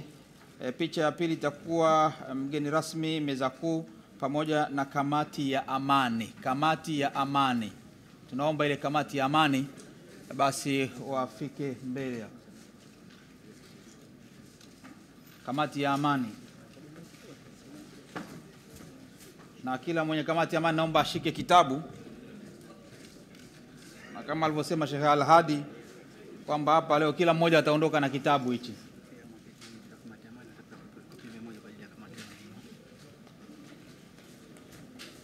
Eh, mashallah. Kamati ya amani.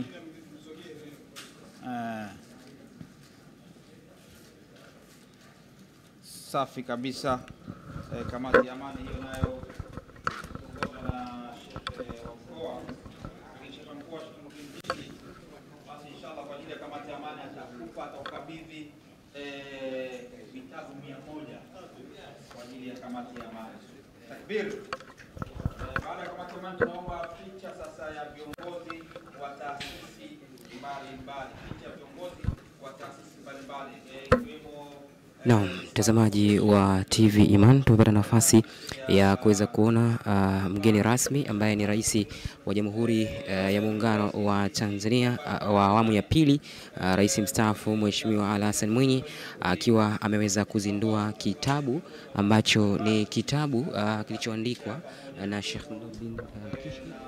Tumepata nafasi ya kuona kile ambacho kimeendelea na kinachoendelea kwa sasa. Ni tukio la upigaji wa picha ambazo zinakwenda kwa makundi mbalimbali mbali. Kwa hivi sasa kama tunavyomsikia msereheshaji ni viongozi wa taasisi mbalimbali ambao ndio wanakwenda kupiga picha sambamba na mgeni rasmi uh, pamoja na viongozi wa taasisi ya Al-Hikma pamoja naye uh, akiwemo Sheikh Nurdin Kishki ambaye ndio mtunzi wa kitabu hichi uh, kwa nini amani. Tumepata nafasi ya kuweza uh, kusikiliza uh, mtazamaji pamoja na msikilizaji ambaye unatufuatilia kupitia matangazo haya uh, live katika kitabu hicho ambacho tunakiona hapo uh, kwa nini amani, ambacho mtunzi ni Sheikh Nuruddin Ahmad Kishki ambaye tumepata nafasi ya kuona tukio zima likiendelea. Uh, ni kitabu ambacho amesema uh, kikubwa kilichomsukuma kupelekea Uh, kukiandika kitabu hichi kwa nini amani? ni siku alipofanya ziara yake ya kidawa uh, kule nchini Rwanda na kuweza kujionea yale mauaji ya alaiki ama mauaji ya kimbari ambayo yalipata nafasi ya kujitokeza uh, takriban miaka uh, ishirini na tano hivi iliyopita ambapo uh, Sheikh Kishki baada ya kutembelea kule na kuweza kujionea tukio zima lile ambalo liliweza uh, kujitokeza miaka hivyo miaka hiyo, basi alipata nafasi ama msukumo wa kuweza uh, kutunga kitabu hiki kwa nini amani, na tumepata nafasi ya kuweza kuona uh, wengi wakiweza kuzungumza uh, umuhimu wa amani nchini, lakini pia viongozi wa sisi wa kamati za amani nchini zikiongozwa na shekhe mkuu wa jijini Dar es Salaam uh, shekhe uh, Al-Akhdar ambaye tumepata nafasi pia kumsikia naye akiweza kuzungumza juu ya kitabu hiki, lakini pia wageni mbalimbali ambao waliweza kualikwa katika tukio zima hili la uzinduzi wa kitabu hiki, na wao walipata nafasi ya kuweza kuzungumza yao, na mengi tumewasikia kutoka kwao. Walillahi alhamdu, tumeweza kuona ni kwa namna gani uh, vile ambavyo kitabu hiki kitakwenda uh, kuwa na umuhimu mkubwa zaidi uh, kitakapofika kwa watu ama wananchi mbalimbali. Zoezi ambalo linaendelea kwa hivi sasa ukumbini ni upigaji wa picha pamoja na kuweza kugaiwa kila yule ambaye amehudhuria katika uh, ukumbi huu. Kila ambaye mgeni mwalikwa katika ukumbi huu basi atapewa uh, nakala ya kitabu hiki ili kwenda kujisomea na kuweza kufahamu sasa nini ambacho kimezungumzwa katika kitabu hiki cha kwa nini amani, na tumeona ni kwa namna gani vile ambavyo wameweza kuhamasika uh, namna ya kuweza kukipata kitabu hiki cha kwa nini amani. Kwa hivyo tutapata nafasi ya kuweza uh, kukisoma, kukielewa zaidi na kuweza kufahamu mengi ambayo yameandikwa katika kitabu hiki ambacho tumepata nafasi ya kwa siku ya leo kuona tukio zima ya la uzinduzi wake. Eh, ni kitabu chenye kurasa takriban mia moja na kumi na mbili.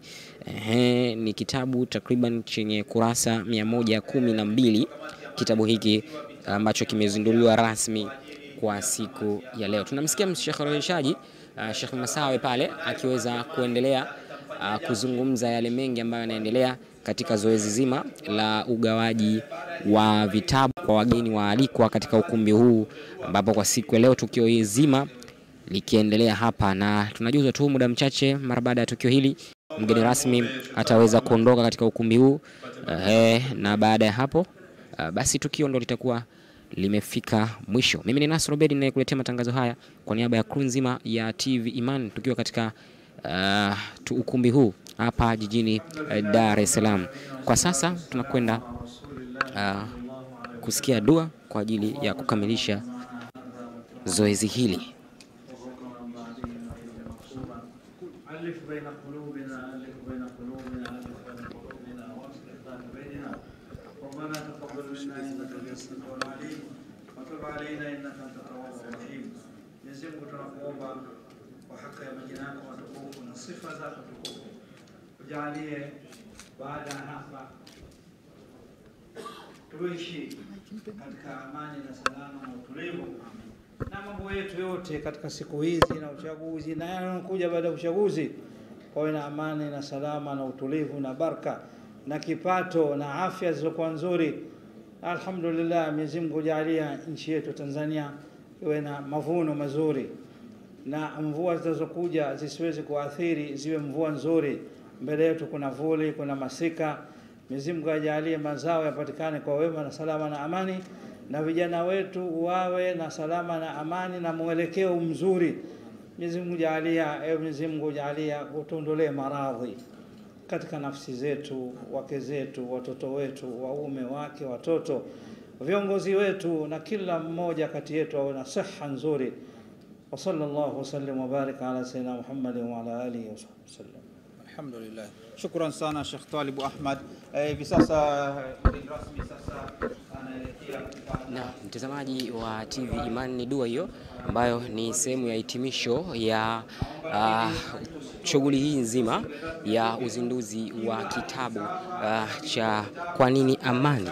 Uh, kutoka hapa uh, katika ukumbi wa Regents jijini Dar es Salaam. Nitapata nafasi ya kuweza kuzungumza na wageni wa alikwa mbalimbali waliohudhuria katika tukio hili moja kwa moja kupitia hapa hapa uh, live ya matangazo haya uh, TV Iman. Ninaye uh, mwenyekiti wa taasisi ya The Islamic Foundation Al-Akh Arif Nahdi. Nitapata nafasi ya kuweza kuzungumza naye hapa tuweze aweze kutuambia maoni yake juu ya uzinduzi wa kitabu hiki. Mwenyekiti, asalamu alaykum warahmatullahi wabarakatuh. Alaikum salam warahmatullahi wabarakatuh. Na Mwenyekiti, hali yako? Salama tu alhamdulillah. Kwema alhamdulillah. nafasi ya kuweza kushuhudia tukio zima la uzinduzi wa kitabu cha Kwa nini Amani, mtunzi Sheikh Nurdin Ahmad Kishki. Unaweza kuzungumziaje zoezi hili ama shughuli hii nzima? Uh, kwa kweli uzinduzi huu wa kitabu ni faraja kwetu sisi Waislamu kwa ujumla na katika historia wa Tanzania kwa sababu Sheikh Nurdin Kishki ameweza ameweza kuanzisha kitu ambacho watu wengi hatuku hatukuwa na mawazo ya kuwa na vitabu katika sekta hii ya amani, ambacho kitabu anaweza kusoma mtu yoyote wa dini yoyote bila ku, kuingiza eh, itikadi yoyote ambaye inaonekana ya kidini. Hii ni ni ufunguzi mkubwa sana Sheikh Kishki ameuanzisha na inshallah iwe ya kudumu, na tunamtegemea pia tutolee vitabu vingine, na pia imetupa changamoto sisi kama Islamic Foundation pia kuangalia pia jinsi gani tunaweza tukaingia katika tasnia hii ya kuandika vitabu pamoja kwamba tuna, tuna program ambayo ya kutayarisha syllabus za primary na sekondari, lakini hili alilofanya Sheikh Kishki kwa kweli ni, ni, furahia, ni furaha kubwa sana. Na imetupelekea kuja kutoka toka Morogoro mpaka hapa kwa ajili tu ya kuhudhuria swala hili la la nani la uzinduzi wa kitabu chake cha Amani ambacho wote tumepata kopi moja moja, na tunamwomba Mwenyezi Mungu ajalie kuwa ni kitabu kitakacholeta manufaa makubwa katika nchi yetu ya Tanzania. Mwenyekiti, tunaelekea katika kipindi cha uchaguzi mkuu wa nchi yetu. Tunaamini kabisa swala la amani ni moja kati ya msisitizo mkubwa, na ndio maana kamati za amani kwa hivi sasa zimekuwa zikihamasisha jambo hili. Neno lako lipi kuelekea Oktoba 28 ambapo nchi yetu itakuwa na tukio kubwa la uchaguzi? Uh, sisi kama taasisi ya Kiislamu au taasisi mojawapo ya kuleta maendeleo nchini Tanzania kwamba tunawaomba kwamba wananchi na wanasiasa wajali sana Utanzania kwanza kabla hata ya ushindi, kwa sababu kama walivyosema waliotangulia kwamba sisi tunaona kwamba Tanzania ni ya kudumu, lakini uchaguzi ni wa kupita. Kwa hiyo ni matumaini yangu wote tutakubali kushinda na tutakubali kushindwa ili tudumishe amani ambayo ipo hapa sasa hivi nchini Tanzania. Lakini nikushukuru sana. Asante sana. Majukumu mema. Ah, Asante sana. Asante sana. Ni mwenyekiti Arif Nahdi wa taasisi ya Islamic Foundation ambaye ni mmoja kati ya wageni waalikwa na wameweza kushiriki katika zoezi zima la uzinduzi wa kitabu hiki. Wageni mbalimbali kwa hivi sasa wakiendelea kutoka katika ukumbi huu, nitapata nafasi ya kuweza kukutana na mmoja badala ya mwingine ili tupate nafasi ya kuweza uh, kuzungumza. Nitajaribu kuzungumza katika meza za uh, wageni mbalimbali ambao wamehudhuria katika shughuli hii, tupate nafasi ya kuweza uh, kuwasikia uh, maneno yao uh, juu ya kile ambacho kimeweza kuendelea hapa kwa siku nzuri ya leo. Namtafuta uh, Sheikh Nurdin Kishki, lakini najuzwa kuwa amemsindikiza mgeni rasmi uh, katika uh, katika Uh, tukio hili lakini pia uh, nimeajuzwa hapa kuna mmoja kati ya wale ambao walikuwa na mchango mkubwa katika kuweza kufanikisha kupatikana uh, kwa kitabu hiki hapa. Ninaye uh, Sheikh hapa ambaye naye ni mmoja kati ya wahusika wakubwa ambao nimejuzwa katika kuweza kutunga kitabu hiki. Tutapata nafasi ya kuweza kuzungumza naye naye walau atupe neno lake ili tuweze kufahamu ni kwa kiasi gani basi ushiriki wake umeweza kuhusika katika utunzi wa kitabu chenye kurasa takriban 112 kutoka kwake Sheikh Nurdin Kishki, ambapo wamezungumzia amani katika kitabu hiko. Kama unavyoona hapa, uh, mwenyekiti Arif Nahdi akiweza kuzungumza na baadhi ya watendaji wa BAKITA ambao nao walikuwa na mchango mkubwa sana katika kufanikisha uh, kupatikana uh, kwa kitabu hiki. Wakati hayo yakiendelea, hapa kuna baadhi ya viongozi ambao ni wahusika wa kamati ya amani ambapo uh, ambapo tutapata nafasi ya kuweza kuzungumza naye. Habari ya wakati huu? Ah, ni nzuri. Kwema kabisa. Kwema kabisa. Kutoka katika zoezi kubwa la uzinduzi wa kitabu Kwa nini Amani, na hii ni meza mojawapo ya viongozi ama wajumbe wa kamati hii ya amani. Unaweza kuzungumza neno gani kwa hivi sasa ukianza kujitambulisha kuhusiana na uzinduzi wa kitabu hiki? Naitwa Alain Siso, ni askofu wa kanisa la Methodist Tanzania, jimbo la Dar es Salaam. Nimefurahia uzinduzi wa kitabu hiki ambacho kinajulikana kwa nini amani. Ni swali lakini ni swali linalopaswa kuwa na majibu. Kwa nini amani? Kwa sababu pasipo amani hakuna maendeleo, pasipo amani hakuna maisha, pasipo amani hakuna taifa lolote linaloweza kufikia maendeleo yanayokusudiwa. Kwa hiyo amani ni jambo la maana sana katika taifa, katika familia. Watu hawawezi wakakaa pamoja kama hakuna amani. Tunaelekea katika uchaguzi mkuu uh, Oktoba 28 mwaka huu. Swala la amani ni moja kati ya jambo linaloendelea kusisitizwa. Neno lako ikiwa ni mmoja kati ya wajumbe wa kamati hii. Neno langu tu, tuendelee kuelewa tu kwamba pamoja na uchaguzi ulioko mbele yetu, lakini bado maisha yetu kama Watanzania yataendelea, na katika maisha yanayoendelea bado tunahitaji utulivu, amani iwepo. Kwa hiyo kipindi hiki cha uchaguzi kisiwe ni kipindi cha kuiondoa ile amani, tukakosa uhuru na, na furaha katika taifa. Shukrani sana. Tukumbushe majina yako. Naitwa Askofu Allen Siso wa kanisa la Methodist Tanzania. Asante Skofu. Ni mmoja kati ya viongozi uh, wa kamati ile ya amani ambayo tumepata nafasi ya kuweza uh, kumsikia. Uh, nipate sasa nafasi ya kuweza kukutana na Sheikh Nurdin Kishki naye pia tupate nafasi ya kuweza uh, kuzungumza naye. Sheikh Nurdin Kishki, asalamu alaykum wa rahmatullahi wa barakatuh. Wa alaykum salam wa rahmatullah. Sheikh, leo kulikuwa na tukio kubwa sana ambalo tumetoka kulitekeleza hivi punde na mgeni rasmi uh, Sheikh, uh, I mean, mgeni rasmi ambaye ni rais wa awamu ya pili Mheshimiwa Ali Hassan Mwinyi ndio alikuwa mgeni rasmi katika uzinduzi wa tukio hili. Unazungumziaje kwanza kitabu hiki cha Kwa nini Amani chenye kurasa takriban 112 ambacho kimezungumzia amani tupu, hasa tukiwa tunaelekea katika uchaguzi mkuu wa Oktoba mwaka huu? Binafsi kama nilivyotangulia kusema hapo awali, kwa mara nyingine tena leo ni siku yangu ya kihistoria. Baada ya kuhama katika fasihi simulizi au mahubiri na kwenda katika fasihi andishi, na kama alivyosema kwamba imenichukulia muda mrefu kuandika kitabu hiki, na kwa sababu kilichoandikwa kinadumu, yanayosemwa maneno yanapita, na wanadamu wameumbwa katika kusahau. Na leo kama ulivyoona tumekizindua kitabu na ule ukubwa wake zaidi ya kurasa mia moja na kitu, ni kwa sababu ile pupa yangu sikupenda kuacha kitu muhimu kuhusiana na amani, ila nimekuwa ni mwenye kuizungumzia, ingawa nakiri ya kuwa kitabu hakiwezi kukosa kasoro, na haina maana kwamba amani yote humu ndani nime nimeitaja. E, e, moja ya sababu iliyonipelekea ku, ku, ku, ku, kuandika kitabu hiki na kuzi, kukizindua mapema ni uchaguzi mkuu uchaguzi mkuu, kwa sababu tathmini yaonyesha hizi chaguzi hasa katika nchi zetu za Afrika huwa kidogo huleta mtikisiko fulani wa, wa, wa amani. Kwa hiyo nikaona tukizindue kabla ya uchaguzi kiweze kuwaenea watu wengi, na kwa sasa tunatoa kopi kama elfu mbili ambazo hatu, hatu, tunatoa bure ili Watanzania wakipate mapema na haraka iwezekanavyo wakisome na wakielewe. Kwa nini nimeamua kuandika? Kwa sababu amani ndio mpango mzima.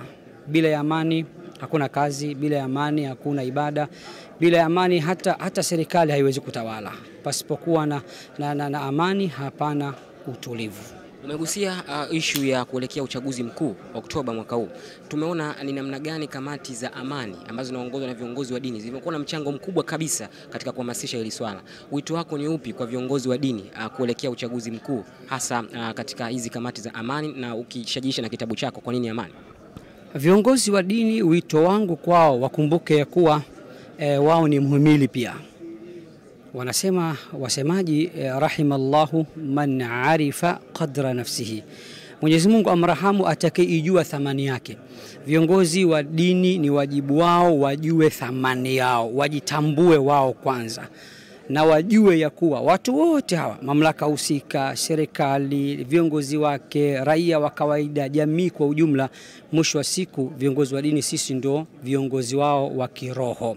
Ina maana viongozi wa dini kipindi hiki tuungane, tuhubiri amani na tukemee viashiria vinavyoashiria kuvunjika kwa amani katika nchi yetu, na pia viongozi wa dini tusijihusishe na siasa. Na kama mtu anapenda siasa bora avue joho lake lile la dini aingie moja kwa moja kwenye, kwenye siasa. Tujue moja wanasema, la sivyo baki kuwa ni msuluhishi, mpatanishi pindi wanasiasa watakapokosana na kugombana. Shukrani sana neno.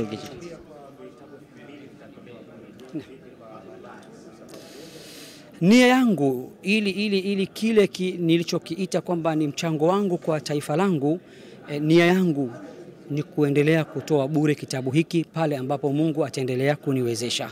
Pale nitakapokuwa e, uwezo wangu umeishia hapo, tutaangalia, tutaketi, tutaangalia tuna, tutafanya nini. Lakini kwa awali tumeona tutoe kopi elfu mbili e, kama zawadi kwa Watanzania. Kitabu chenyewe thamani yake ni shilingi elfu kumi ya Kitanzania. Sasa kwa hali ilivyo, Tanzania kawaida ukimwambia nunua kitabu kwa shilingi elfu kumi kidogo inaweza kawa ni ngumu, ndio maana tukaona awali tutoe kopi elfu moja elfu mbili baadaye Allah akitupa uwezo tutaendelea kutoa kopi kadri ya uwezo wetu. Shukrani sana Nurdin Kishki na kila la heri. Sheikh Nurdin Kishki tumepata nafasi ya kuweza kumsikia hapa akiweza kuzungumzia juu ya uzinduzi wa kitabu hiki, akiweza kuzungumza mengi zaidi, lakini kubwa anasema kilichomsukuma kwanza ni namna ambavyo hamasa kwa Watanzania juu ya kuweza kuhamasisha amani, hasa tunapoelekea katika kipindi cha uchaguzi. Kuna mtendaji wa Baraza uh, Kuu la Kiswahili uh, nchini Tanzania BAKITA ambaye tulipata nafasi ya kuweza kumsikia akiweza kutoa neno lake katika uzinduzi wa kitabu hichi. Atatutambulisha majina yake, kisha atatuambia ni kwa namna gani basi kitabu hiki kitaweza kwenda kuleta tija katika jamii. Asalamu alaykum warahmatullahi wabarakatuh. Wa alaykum salaam warahmatullahi wabarakatuh. Nitambulishe kwa majina yako. Mm. Ah, mimi kwa jina naitwa Musa Ramadhan Kaoneka. Mm. Ni mtendaji kutoka Mimi ni mchunguzi lugha uh, mwandamizi Baraza la Kiswahili la Taifa BAKITA. Asante mchunguzi lugha. Tumepata nafasi ya kuweza kushuhudia uzinduzi wa kitabu ambacho kimepewa jina kwa nini amani, mtunzi akiwa ni Sheikh Nurdin Ahmad Kishki. Ni kawaida tumeona watu wengi wakizindua vitabu, lakini kitabu hiki kimekuja katika wakati ambao tunaelekea uchaguzi. Unaweza kuzungumzia nini kwanza kuhusiana na hili? Ah, kwanza nimpongeze mtunzi wa kitabu kwa sababu uh, kitabu chenyewe eh, ile amani kinajieleza kwamba ni kitu gani eh, ukisoma tu neno amani unajua ni kitu gani kitakuwa kinazungumzwa huko, na jambo jema ni kwamba ameandika kitabu cha Kiswahili kwa Waswahili, kwa Watanzania e, bila ku, bila kuegemea kwenye upande mmoja, yaani haku, hakuandika kitabu kikiona useme labda hiki ni cha Waislamu ama ni cha Wakristo ama ni cha watu gani. Watu wote wanasoma, wenye dini na wasio na dini, na amenasibisha matukio ambayo yamefanyika yalivunja amani mahala fulani, kukatokea vita, kukatokea na machafuko eh, na uhalisia katika maisha yetu mm. Ama katika dini amechukua vifungu vya Mwenyezi Mungu ambavyo anasisitiza amani, akanasibisha na uhalisia mm. Amezungumza mambo ya eh, shughuli zetu za kawaida jinsi zinavyoweza kukuletea amani. Kwa mfano mm, mm, shughuli za uchaguzi hizi ambazo zitafanyika mm, hakuzungumza moja kwa moja kwamba ni uchaguzi, lakini ameeleza tu namna eh, katika mazungumzo ya kawaida, katika malumbano, katika kuzungumza jambo fulani eh, ameelekeza watu wanavyotakiwa kulumbana kwa hoja na wala si kulumbana kwa, kwa, kwa, kwa, kwa jazba mm. Kwa sababu kwa jazba una, unataka kumkirihisha mtu mwingine tu ili apatwe na hasira alafu baadaye kuwe na, na machafuko, lakini yeye amezungumza mambo haya eh, kwa namna ya, ya, ya kusisitiza amani.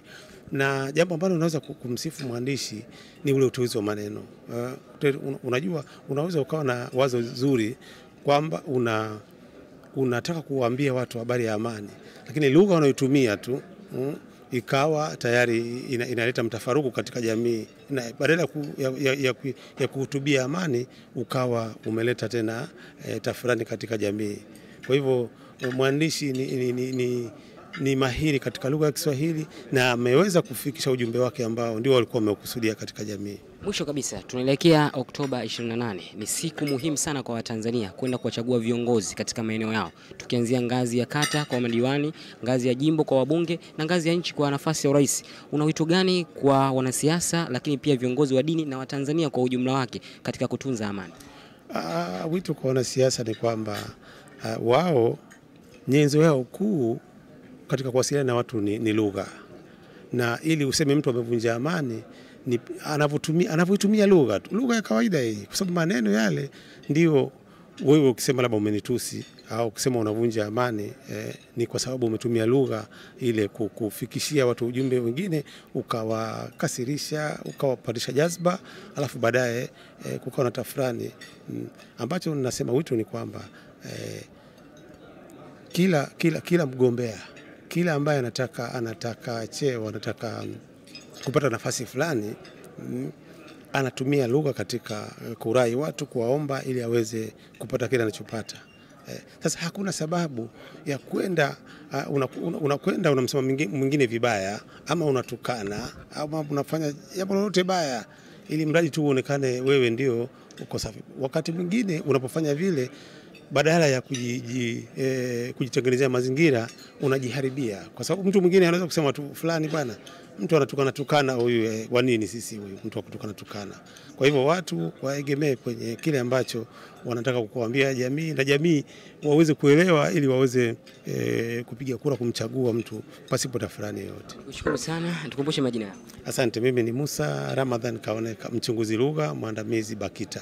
Asante sana. Ni Musa akaoneka Kaoneka, mchunguzi lugha kutokea BAKITA, Baraza la Kiswahili nchini Tanzania. Zoezi ambalo linaendelea kwa hivi sasa ni wageni waalikwa katika uh, shughuli nzima ya uzinduzi wa kitabu ambao wamepata nafasi ya kuweza kushiriki tukio hili kwa siku ya leo hapa jijini Dar es Salaam, na tumeweza kupata nafasi ya kuzungumza na viongozi mbalimbali, na muda huu tunaona pia mahojiano yakizidi kuendelea hapa katika ukumbi wa Hayat Legends Hotel jijini Dar es Salaam ambapo ndipo tukio hili kwa siku nzuri ya leo imeweza kufanyika. Uh, Sheikh Nurdin Kishki akiendelea na mahojiano pale kutoka kwa waandishi mbalimbali. mbalimbali. Awali sisi tushafanya naye na tuweza tumeweza kumsikia akiweza kuzungumza ni kwa namna gani basi kilichomsukuma kupelekea kuandika kitabu chenye kurasa takriban 112 kikisisitizia amani, kikizungumzia amani. Naamini kabisa ni muda mwafaka kukitoa kitabu hiki katika kipindi kama hiki kuelekea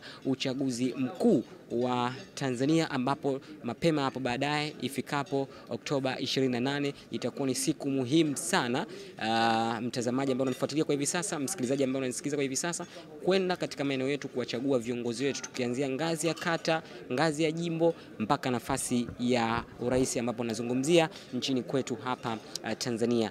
Mimi nikushukuru sana. Nakala hizi zimegaiwa hapa kwa washiriki wote, na takriban shekhe tumepata nafasi ya kumsikia kwa neno lake akisema awali kopi elfu mbili ndizo ambazo zimechapishwa na zitaingia mtaani kwenda kuuzwa kupatikana bure kabisa, lakini pia baadaye ataangalia utaratibu wa kutoa tena kopi, lakini pale nguvu itakapomshinda basi atasema atakuja tena kwa waumini kuweza kutangaza, basi itapatikana kwa kiasi gani cha pesa. Lakini kwa hivi sasa kopi takriban elfu mbili ndizo ambazo zitaingia mtaani na zitapatikana bure, tukianza na sisi washiriki wa shughuli hii ya uzinduzi wa kitabu hiki Kwa Nini Amani, ambapo kila mmoja ambaye ameshiriki katika zoezi hili basi amefanikiwa kupata nakala yake na kitabu ambacho kinasisitiza amani kuelekea uchaguzi huu. Basi tu mimi niseme uh, mpaka kufikia hapa matangazo ya TV Iman pamoja na Radio Iman kutokea hapa Hayat Legends Hotel jijini Dar es Salaam, ambapo ndipo kulifanyika shughuli ya uzinduzi ambayo tulishiriki na rais mstaafu wa awamu ya pili Mheshimiwa Ali Hassan Mwinyi pamoja na viongozi mbalimbali wa taasisi mbalimbali akiwemo mwenyekiti wa taasisi ya The Islamic Foundation,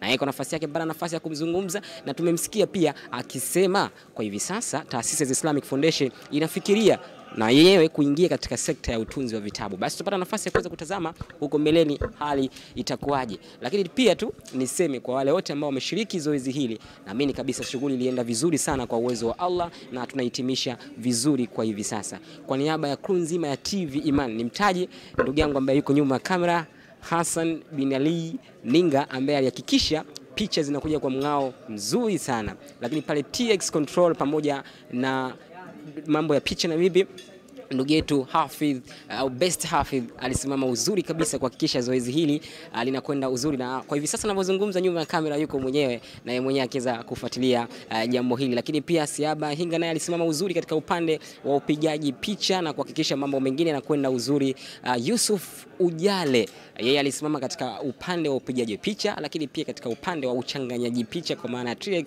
uh, controller.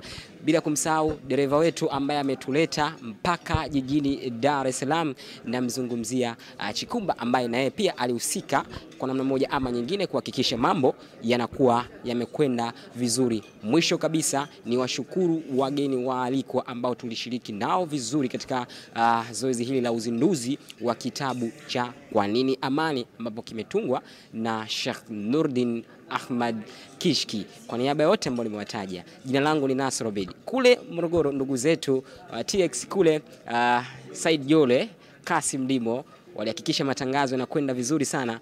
Shukrani sana, shukrani pia uongozi mzima wa taasisi za Islamic Foundation kwa kufanikisha matangazo haya. Jina langu ni Nasr Obej, mpaka wakati mwingine, assalamu alaikum wa rahmatullahi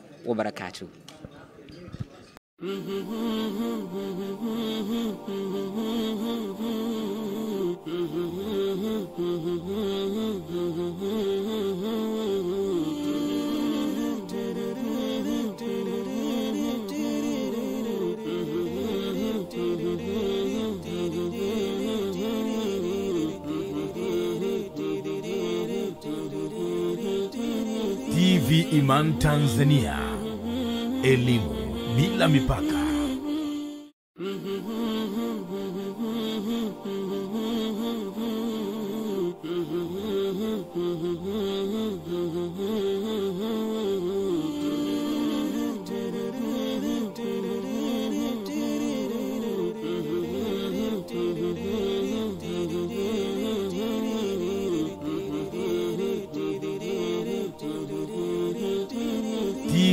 TV Iman Tanzania,